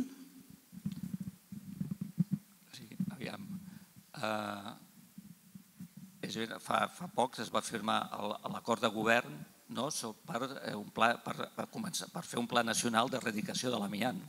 Eh? Abans preguntava Xavier, no? que em pensava, eh, amb l'objectiu del 2032, mm, és evident que quan ens marquem objectius temporals d'aquests, eh, no és tant l'important si arribem o no o si ho fem, sinó que els objectius aquests tenen la, la, la finalitat, la voluntat d'implicar la gent, de, de, de començar a moure's. Eh? És evident que quan l'OMS va establir el seu objectiu de salut per tots a l'any 2000, doncs sabia perfectament que l'any 2000 no tothom tindria salut, però és evident que això va fer que els els governs haguessin de començar a implicar-se, sobretot en països on això, aquesta implicació era menor. No? És evident que hem d'anar a erradicar l'amiant, és que és la solució. I per això jo crec que és molt important aquest acord de govern, eh? perquè ens implica i, i, i ens obliga eh, i obliga a tot el govern i a tots els, i no només el govern, implicarà també altre, altres estaments, eh, diputacions, ajuntaments, perquè és un pla nacional és un pla en el que tothom s'hi ha de posar i implicarà particulars també, eh? perquè l'amiant que hi ha edificis particulars eh, doncs són els particulars, els, els propietaris els que hauran d'actuar. Això no vol dir que s'hagin de fer ajudes, etc. Bueno, això és el que s'ha d'establir en aquest pla. Eh? Però jo crec que és el camí. I el primer era fer aquest acord de govern per obligar-nos. Eh? Jo crec que amb això ens hi posem i que és, és, és, bueno, és, és el camí, és que no hi ha altra solució.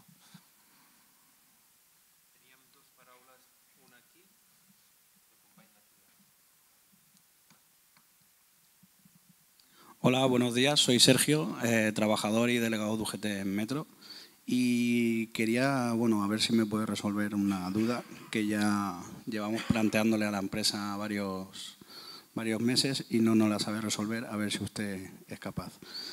Eh, en el tema de que tiene obligación de a final de año hacer el registro este del anexo 5, eh, ¿cómo puede un trabajador saber si, se ha realizado dicho registro? ¿Hay alguna manera de que el trabajador sepa si se ha realizado ese registro o no y si está o, está registrado dentro del RTA este? Pues preguntándole a la empresa que le enseñe. Sí, pero si, la, si la empresa dice que, que ella lo que ha hecho es el mero trámite de hacer esa entrega y no te dice si sí o si no. Eh... Normalmente nosotros siempre se, se cuando nos llega se registra, eh, se registra la, entrega de la documentación, por lo tanto tiene que tener un registro conforme. En último caso, bueno, nos podéis llamar y, preguntar si ha llegado esta ficha. ¿eh? Pero, pero bueno, es, es, primero, siempre pedimos que lo pasen por registro para que quede constancia de si es verdad que esto no lo envía la empresa, sino que lo envía el servicio de prevención porque son datos confidenciales, datos médicos, y quien lo envía es el servicio de prevención. ¿eh? Pero... Bueno.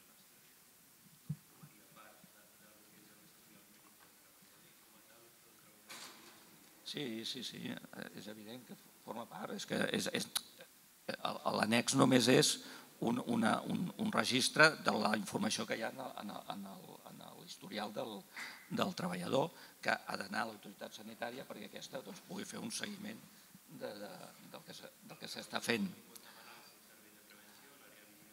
Sí. Sí, sí, sí, sí. Sí, sí però suposo que el que es refereix és si s'ha entregat aquesta... Sí, claro, porque se le pregunta a la empresa, la empresa dice que sí, pero claro, para tener la seguridad concreta, si es así o no, si hay alguna manera de que el trabajador a mutuo individualmente puede acudir a cualquier sitio para saber si está o no está. A ver, es preguntárnoslo a nosotros si, si ha llegado esa ficha, ¿me entiendes? Vale. Si está... El, el, el, la finalidad de, de, de, enviar las fichas es a nivel epidemiológico. Esto no da derecho a nada, ¿me entiendes? Sinó que és a nivell de, de, de, del, del departament i de, doncs tenir, ja dic, eh, conèixer exactament com està la situació, que s'està fent la vigilància i quins són els resultats d'aquesta vigilància.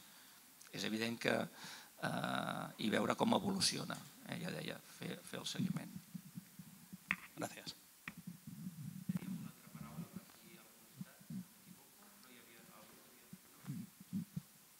Sí, hola, buenas. Eh, tú has estado comentando que se está revisando el protocolo del amianto ahora actualmente y tal. ¿no? Eh, yo te pregunto, bueno, yo soy trabajador delegado de prevención de Federal Mogul, una empresa que hemos trabajado durante muchos años, ya la conocerás, con amianto y tal. Y era si se tiene en constancia o se tiene en cuenta aquí eh, un poco el tema psicológico. ¿no?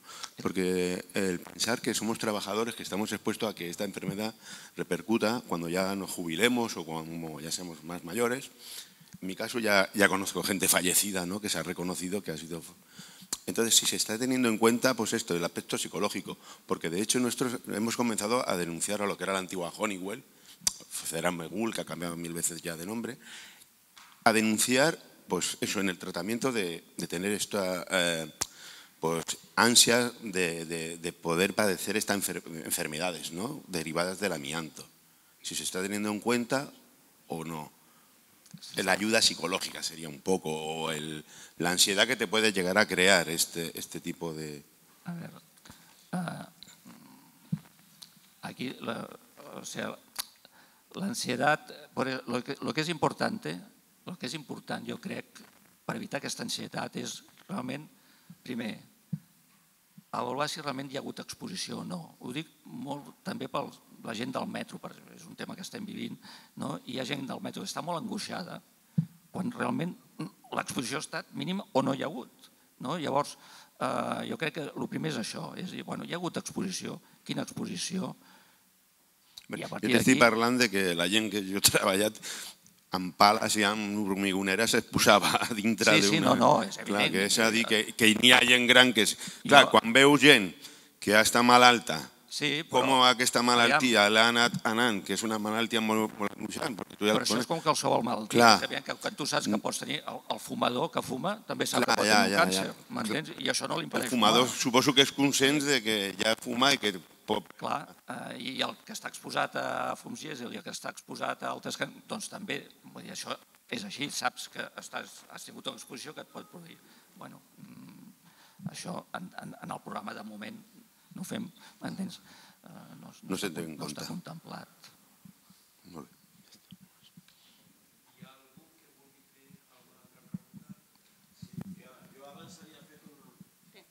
havia fet un plantejament sobre el tema de la salut ambiental i la salut pública, perquè, clar, eh, per exemple, quan hi ha un protocol sobre la tuberculosi, hi ha un estudi que només afecta a la persona malalta, sinó també al seu entorn. No?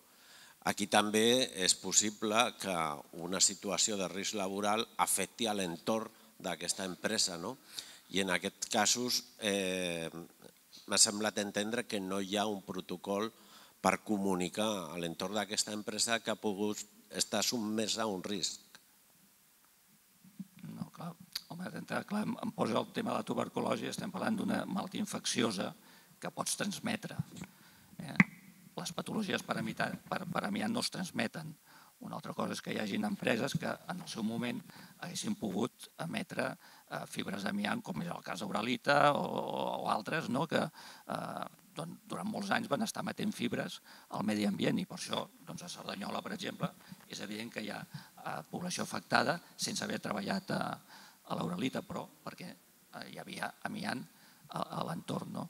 No, no, no hi ha un protocol per el protocol que tu em dius és per, quan ja pot haver una transmissió de persona a persona. Eh? Llavors sí que s'han de, de, prendre mesures. en les malalties per amiant no hi ha aquesta transmissió, de, no són malalties transmissibles. Eh? I ara, actualment, ja el, el, el problema que hagués pogut haver-hi en, en el seu moment ja no hi és, perquè la, la, quan es fan ara actuacions d'amiant, de desamiantatge, això ja es té en compte, de treballar de manera que no pugui haver-hi una emissió de fibres a l'ambient. Els plans de treball no només estan per protegir els, els treballadors, estan per protegir la població també. Eh, per això doncs, s'han de fer de manera confinada eh, i s'han de fer mesures per evitar que hi hagi una contaminació eh, del medi. Eh, això ja està, ja està previst.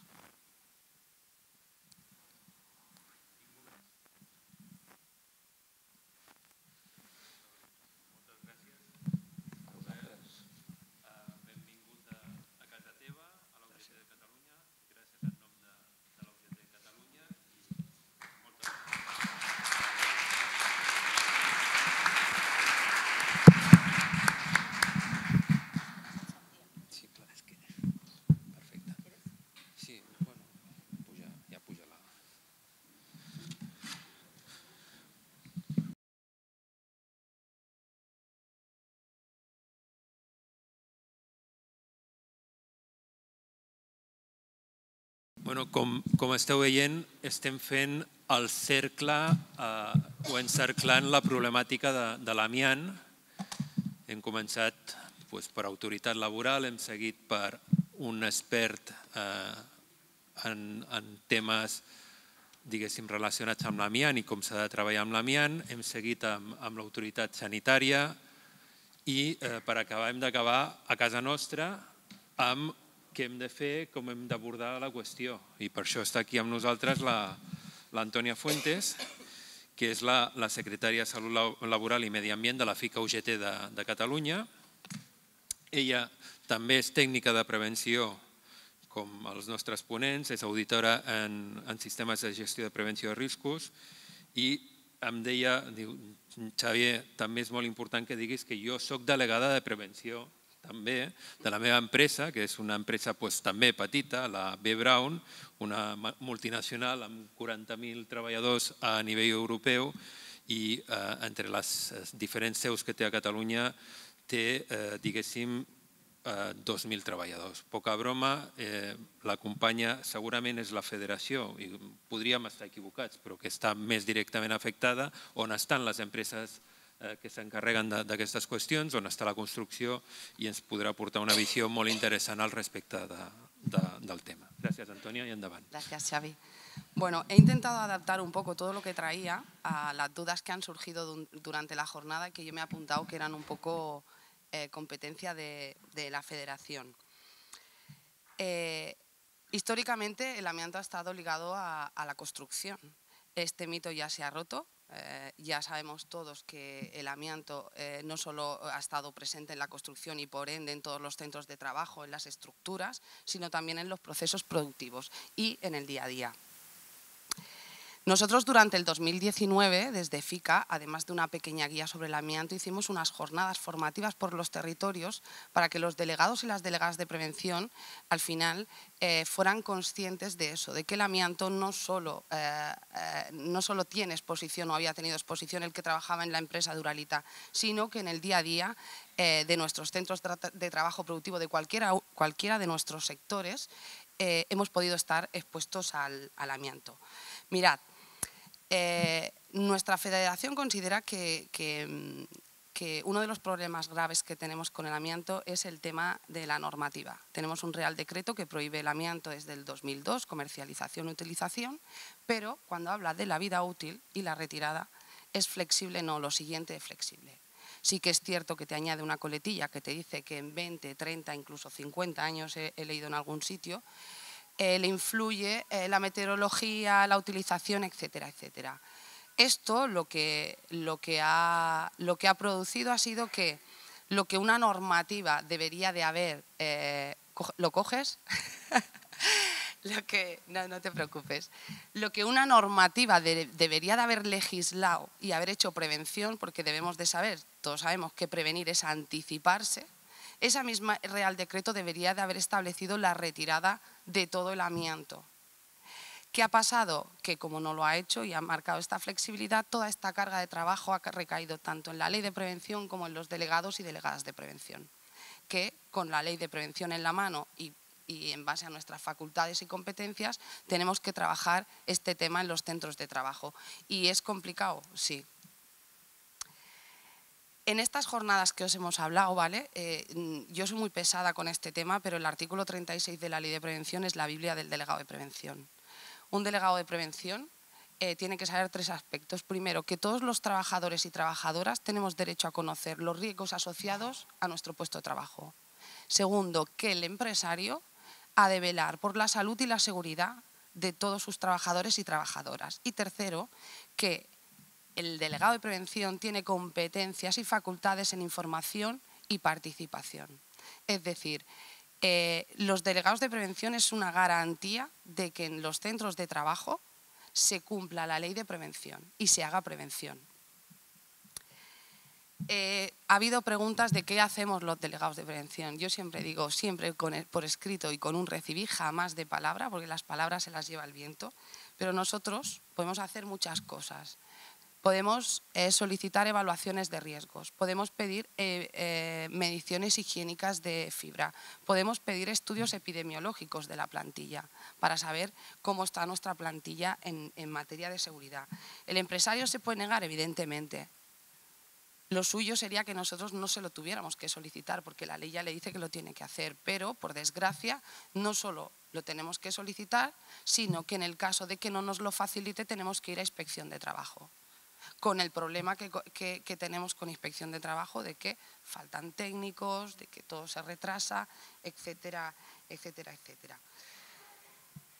Eh, eliminar, el, eliminar el amianto, eso se tendría que ser eh, lo, primero que se tendría que plantear una empresa. ¿Por qué? Porque tú eliminas el riesgo desde, desde raíz. En temas de retirada del amianto tenemos a los de Federal Mogul, que es un caso que tuvimos que hacer desde la federación una, una inspección de trabajo. ¿Por qué? Porque se hizo la retirada con todas las garantías. O sea, la empresa estaba homologada, todo. Eh, acotaron la zona con toldos y ese día hizo viento. Eh, ¿Qué pasó? Los toldos se levantaron y hubo polvo de, polvo de viento en toda la zona productiva, por lo que se tuvo que paralizar la actividad. Eh, ¿La responsabilidad de quién era? ¿De la empresa que había hecho la retirada nosotros, la responsabilidad como delegados y delegadas de prevención siempre es hacia el empresario, que es a quien nosotros tenemos que solicitar absolutamente toda la información, ya sea si está inscrito en el RERA, si la empresa está homologada eh, y además participar en cómo se tiene que hacer esa, retirada. La suerte que tuvimos en esa empresa es que los delegados y delegadas de prevención estuvieron presentes en esa, estaban presentes en la retirada, estaban en la zona de trabajo e inmediatamente identificaron que había un riesgo para, sus compañeros y sus compañeras, por lo que paralizaron, paralizaron la, actividad. Sobre el tema de lo que has dicho, los riesgos psicosociales son muy, muy importantes también. como hemos dicho, el empresario tiene la obligación de evaluar todos los riesgos. Y yo entiendo que cuando ah, hay casos de fallecimientos por cáncer en empresas donde ha habido exposición a amianto, el resto de trabajadores tenga una espada de Damocles. Eso es un riesgo que la empresa tiene que evaluar y además le tiene que poner medidas correctoras, que es informar, formar y dar apoyo a estos trabajadores. Eh, mm, con ayuda psicológica, con formación, con información, porque al final el, problema de ese riesgo psicosocial es que si yo no tengo toda la información, si tú a mí no me convences de que no yo no voy a tener ningún problema, el pensamiento es libre. Por lo tanto, la empresa también ahí tiene que, tiene que poner todas las medidas necesarias para que no se genere ese estrés, buscando la ayuda que sea necesaria. Y nosotros lo podemos solicitar, evidentemente, como cualquier... Eh, un riesgo psicosocial es igual que un riesgo en altura, que un riesgo por exposicionamiento, es un riesgo. Y por lo tanto, la normativa establece eh, que la empresa tiene, tiene que actuar de la misma manera que con cualquier otro riesgo tenía aquí un montón de cosas apuntadas. El delegado de prevención, es lo que os estaba diciendo, el delegado de prevención, eh, a la pregunta que tú habías hecho antes, de, en el 2032, eh, muchos granitos de arena al final hacen una montaña. Eh, yo en estas, en estas jornadas, cuando hacemos la formación, ¿cuál es, el, qué es el, el, último mensaje que damos a los, a los delegados? Solicitar una evaluación de riesgo, solicitar un informe de, la, de, la, de, cómo está la estructura de, vuestra, de vuestro centro de trabajo, solicitar una medición. ¿Por qué? Porque cuando eh, un delegado te pregunta, porque mi empresa tal, no sé qué, no sé cuánto, hay amianto, estoy expuesto, la única manera que, que podemos, eh, que, que podemos saber si estamos expuestos es que un técnico habilitado haga sus catas, haga la evaluación de riesgos, haga la medición. Es la única manera que tenemos y es lo primero que tenemos que solicitar a la empresa. Y evidentemente solicitar, solicitar la retirada. Yo creo que con todos los delegados y delegadas que somos, eh, bueno, al 2032, poco tiempo, ¿eh? yo creo que podríamos contribuir mucho para al final eh, llegar al objetivo que, sea, que a nivel europeo se, se ha marcado. Y yo como vamos un poquillo justos de tiempo, que al final me he dejado cosas por si teníais alguna, alguna, alguna pregunta. Eh, sí, si quieres, sí, porque así... Uh... Si os parece, abrimos ronda para preguntar a Antonia sobre cuestiones de cómo eh, creéis, cómo deberíamos, preguntas al respecto de cómo debemos actuar como delegados de prevención. Igual ya las he contestado todas, ¿eh? porque me las he ido apuntando.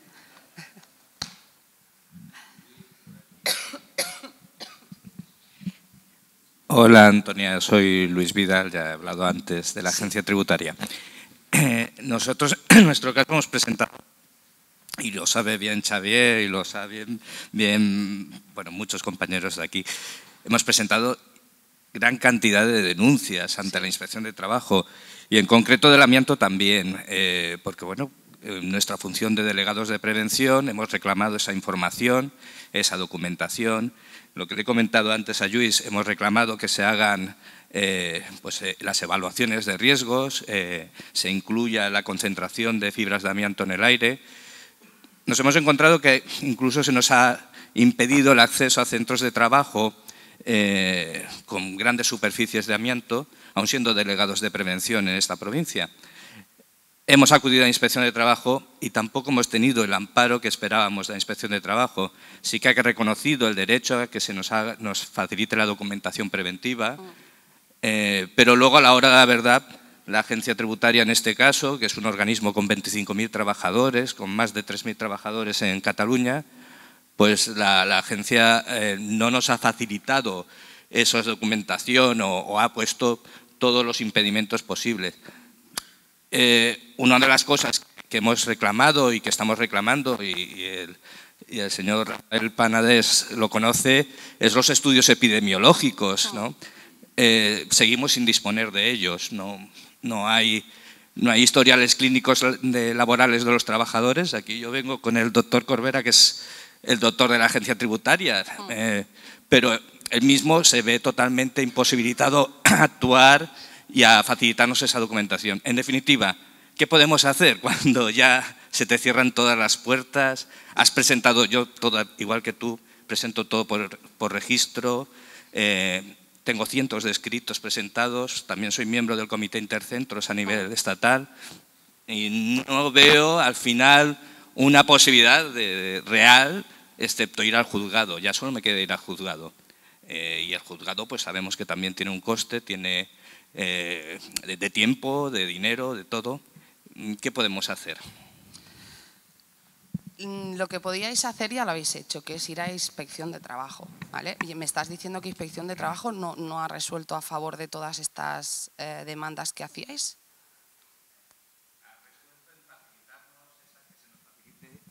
Que se nos facilite esa documentación, esa información, pero desde luego no se ha hecho ningún estudio de la degradación del amianto que pueda existir. Eso no se ha hecho y me ha parecido muy interesante lo que ha explicado mm. Luis al respecto.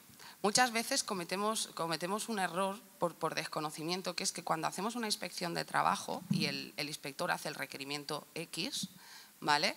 muchas veces la empresa eh, no, no, le hace ni caso al, al requerimiento. ¿vale? Entonces el inspector no sabe que la empresa eh, no, ha llevado a cabo su requerimiento. Por lo tanto, eh, nosotros tenemos en esa denuncia el nombre del inspector.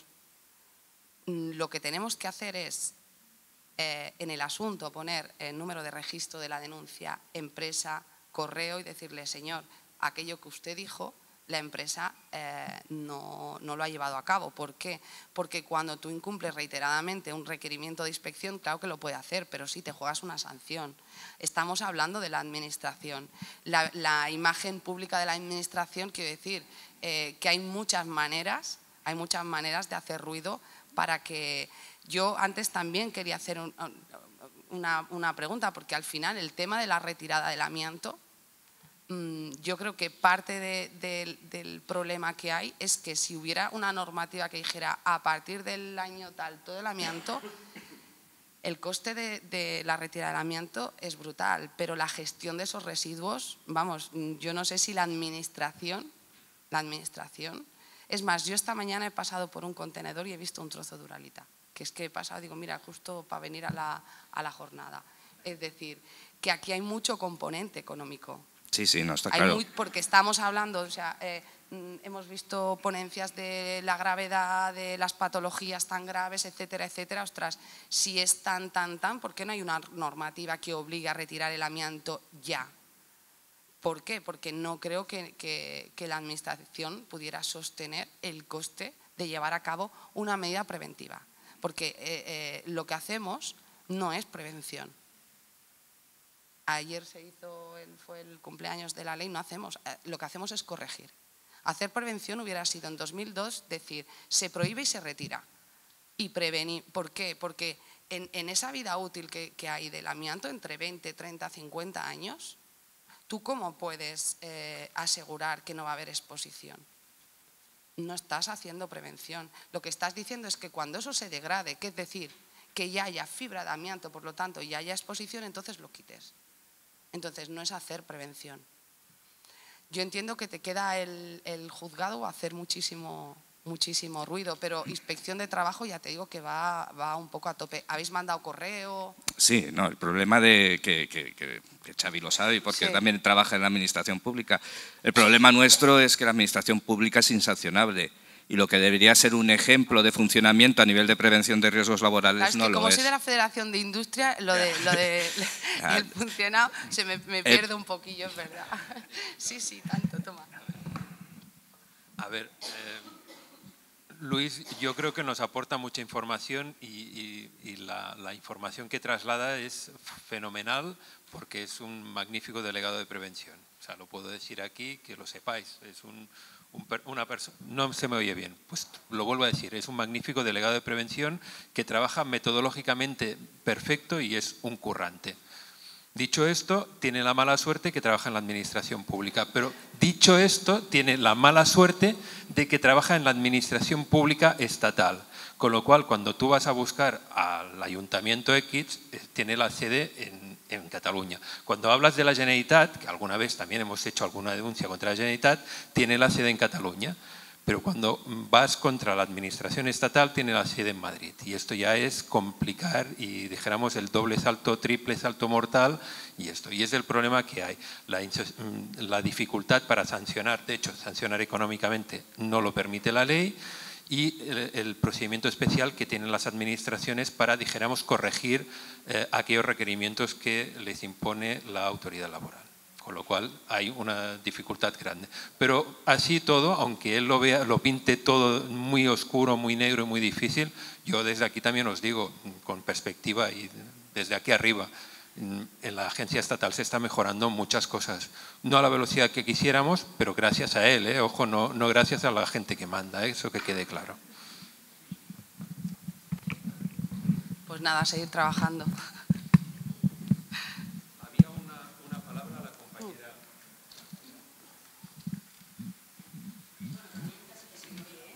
¿Sí? Eh, buenos días, eh, soy Cristina Santos, soy delegada de prevención y del comité en el personal de servicios a bordo que opera para Renfe. Eh, no es tanto una pregunta, sino como un hecho a mejorar, creo que por todas las partes. todas las legislaciones entienden, y por ejemplo se puede ver mejor en los compañeros de la FICA, aquellas empresas que trabajan con ese material. Pero hoy en día, y sobre todo con las macroempresas de servicios como en la que estoy yo, que trabajo en Ferrovial, eh, no solo nos tenemos que encarar con nuestra empresa, que ni, nos, ni trabajamos con material que está ya contaminado por amianto, porque trabajamos en trenes de Renfe que hoy en día el material es mejor, pero sí hemos trabajado con material contaminado, sobre todo los revestimientos, eh, compañeros que limpiaban también esos trenes, o sea, muchas contratas porque tienen muchas actividades externalizadas, o sea, no solo los trabajadores de Renfe, sino todos los del abanico que estamos alrededor, que hoy en día no lo hacemos, que lo hemos hecho, que pasamos por sucesiones de empresas, que en la actualidad ya no trabajamos en eso, pero algunos sí hemos trabajado, otros ya no, que las empresas que vienen no nos quieren hacer las evaluaciones de prevención específicas para el amianto y que además, en el caso de nuestro, que es de Renfe, ni la Renfe tiene tasados los trenes en los que estaba ese material. O sea, aparte de que nos tenemos que enfrentar con nuestras propias empresas para que nos hagan, porque no dejamos de ser sus trabajadores y deben de velar por nuestra salud, nos tenemos que enfrentar con la empresa madre, como le llamamos nosotros, que debe de decir y de determinar qué sí y qué no. Entonces, nosotros sí que es verdad que nos hemos concienciado mucho. Eh, Siempre decimos que desgraciadamente solo la UGT es la que ha emprendido en solitario en nuestro sector estas medidas, o sea, esta lucha por el tema del amianto y hemos conseguido en la Inspección de Trabajo Estatal que obliguen a nuestra propia empresa a que prevea para el personal con una antigüedad X que sí ha estado expuesto, que se nos hagan esas pruebas específicas para el control del amianto. Entonces, creo mi hecho a mejorar para todos los agentes sociales es que deberíamos prever que el mercado laboral es el que es, no es el que era, y que las personas que trabajamos en todos esos servicios externalizados por las empresas madre estamos muy mm, dejados de la mano de Dios, abandonadicos. Conozco, conozco el caso de, de Ferrovial y del... porque, a ver, existe algo que se llama coordinación de actividad, ¿vale? La coordinación de actividad eh, el empresario lo lleva bastante mal, pero sí que es cierto que esa coordinación de actividad la podemos hacer como delegados y delegadas de prevención con nuestros compañeros del resto de las empresas, porque al final lo que necesitas es la información. Y si se nos cierra una puerta, pues yo siempre digo que se abre una, ventana. El, problema de la coordinación de actividad es que eh, esa empresa subcontratada o de servicio a quien tiene que pedirle explicaciones es su empresa y su empresa lo tiene que hacer con la empresa madre, como tú dices. Al final es, la, es una responsabilidad compartida, porque yo puedo estar subcontratada y estar en un centro de trabajo y si yo tengo un accidente o desarrollo una patología, el responsable será mi empresa, pero subsidiariamente será quien ha generado, o sea, quien era el, el amo de la zona donde yo he sufrido o el accidente o, o, o la patología, ¿vale? El tema de la coordinación de actividad es muchas veces la gran desconocida para los delegados y las delegadas de prevención. Eh, tenemos compañeros en empresas madre, en subcontratas, y no, nos organizamos entre nosotros. Al final, es lo que, yo, eh, lo, que, lo que tú estabas diciendo. Al final, si no es la empresa la que, la que pauta esa coordinación de actividad, porque tiene que serlo, porque hay normativa, porque tienen que hacerlo por, por ley, que seamos nosotros quien lo, quien lo, quien lo hagamos. Y sí que es cierto que hemos tenido en la federación casos de, en tema de, nos ha costado que se hicieran las, las, las eh, revisiones médicas, pero al final da igual que sea eh, una empresa subcontrata o no. La revisión médica específica, como decía el, el doctor, ¿de qué viene? ¿De ser una subcontrata? ¿De ser de la empresa principal o de haber tenido exposición? Por lo tanto, si tengo exposición, da igual a qué empresa pertenezca, la normativa se me aplica, el protocolo específico de vigilancia a la salud se me aplica exactamente igual. Se me, tiene que aplicar porque e, ese derecho no nace de, de donde trabaje, sino de una exposición y de unas condiciones de trabajo. Gracias.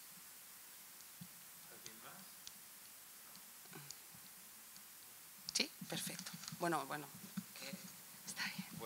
Pues antes de dar paso a Nuria Gilgado para que haga la, la, faci la cluenda de la, de la jornada, jo vull tornar a donar les gràcies als quatre ponents. Vull tornar a donar les gràcies als quatre ponents. Hem fet una, una jornada molt completa. Eh, felicitar a totes les companyes de l'Oficina Tècnica de Prevenció de Riscos Laborals pel disseny, agrair la col·laboració de la nostra gent de premsa i comunicació que ens ha donat un cop de mà, agrair la feina dels companys de, diguéssim, de, de monitoratge, al Jordi que està aquí dintre, a la Montse, a la Marta també que està per aquí, crec que no em deixo ningú més i si us plau, Núria, puja i fes la cloenda. Gràcies.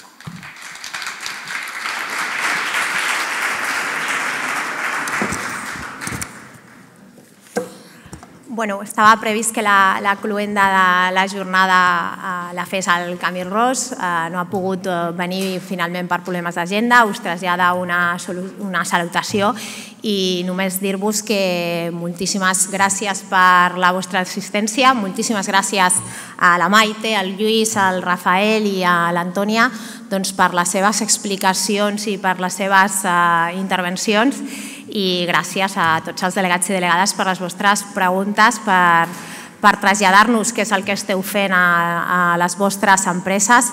Ha quedat evidenciat doncs, que en sabeu molt, que feu molta feina, eh, que la feina envers aquesta qüestió és molt complicada, como digo yo muchas veces, es pico y pala, pico y pala, i, i, però bueno, hem de, hem, de, hem de continuar, hem de lluitar, hem de formar-nos, hem d'informar-nos i sobretot doncs, hem d'exigir a, a les empreses doncs, que compleixin amb, amb la llei.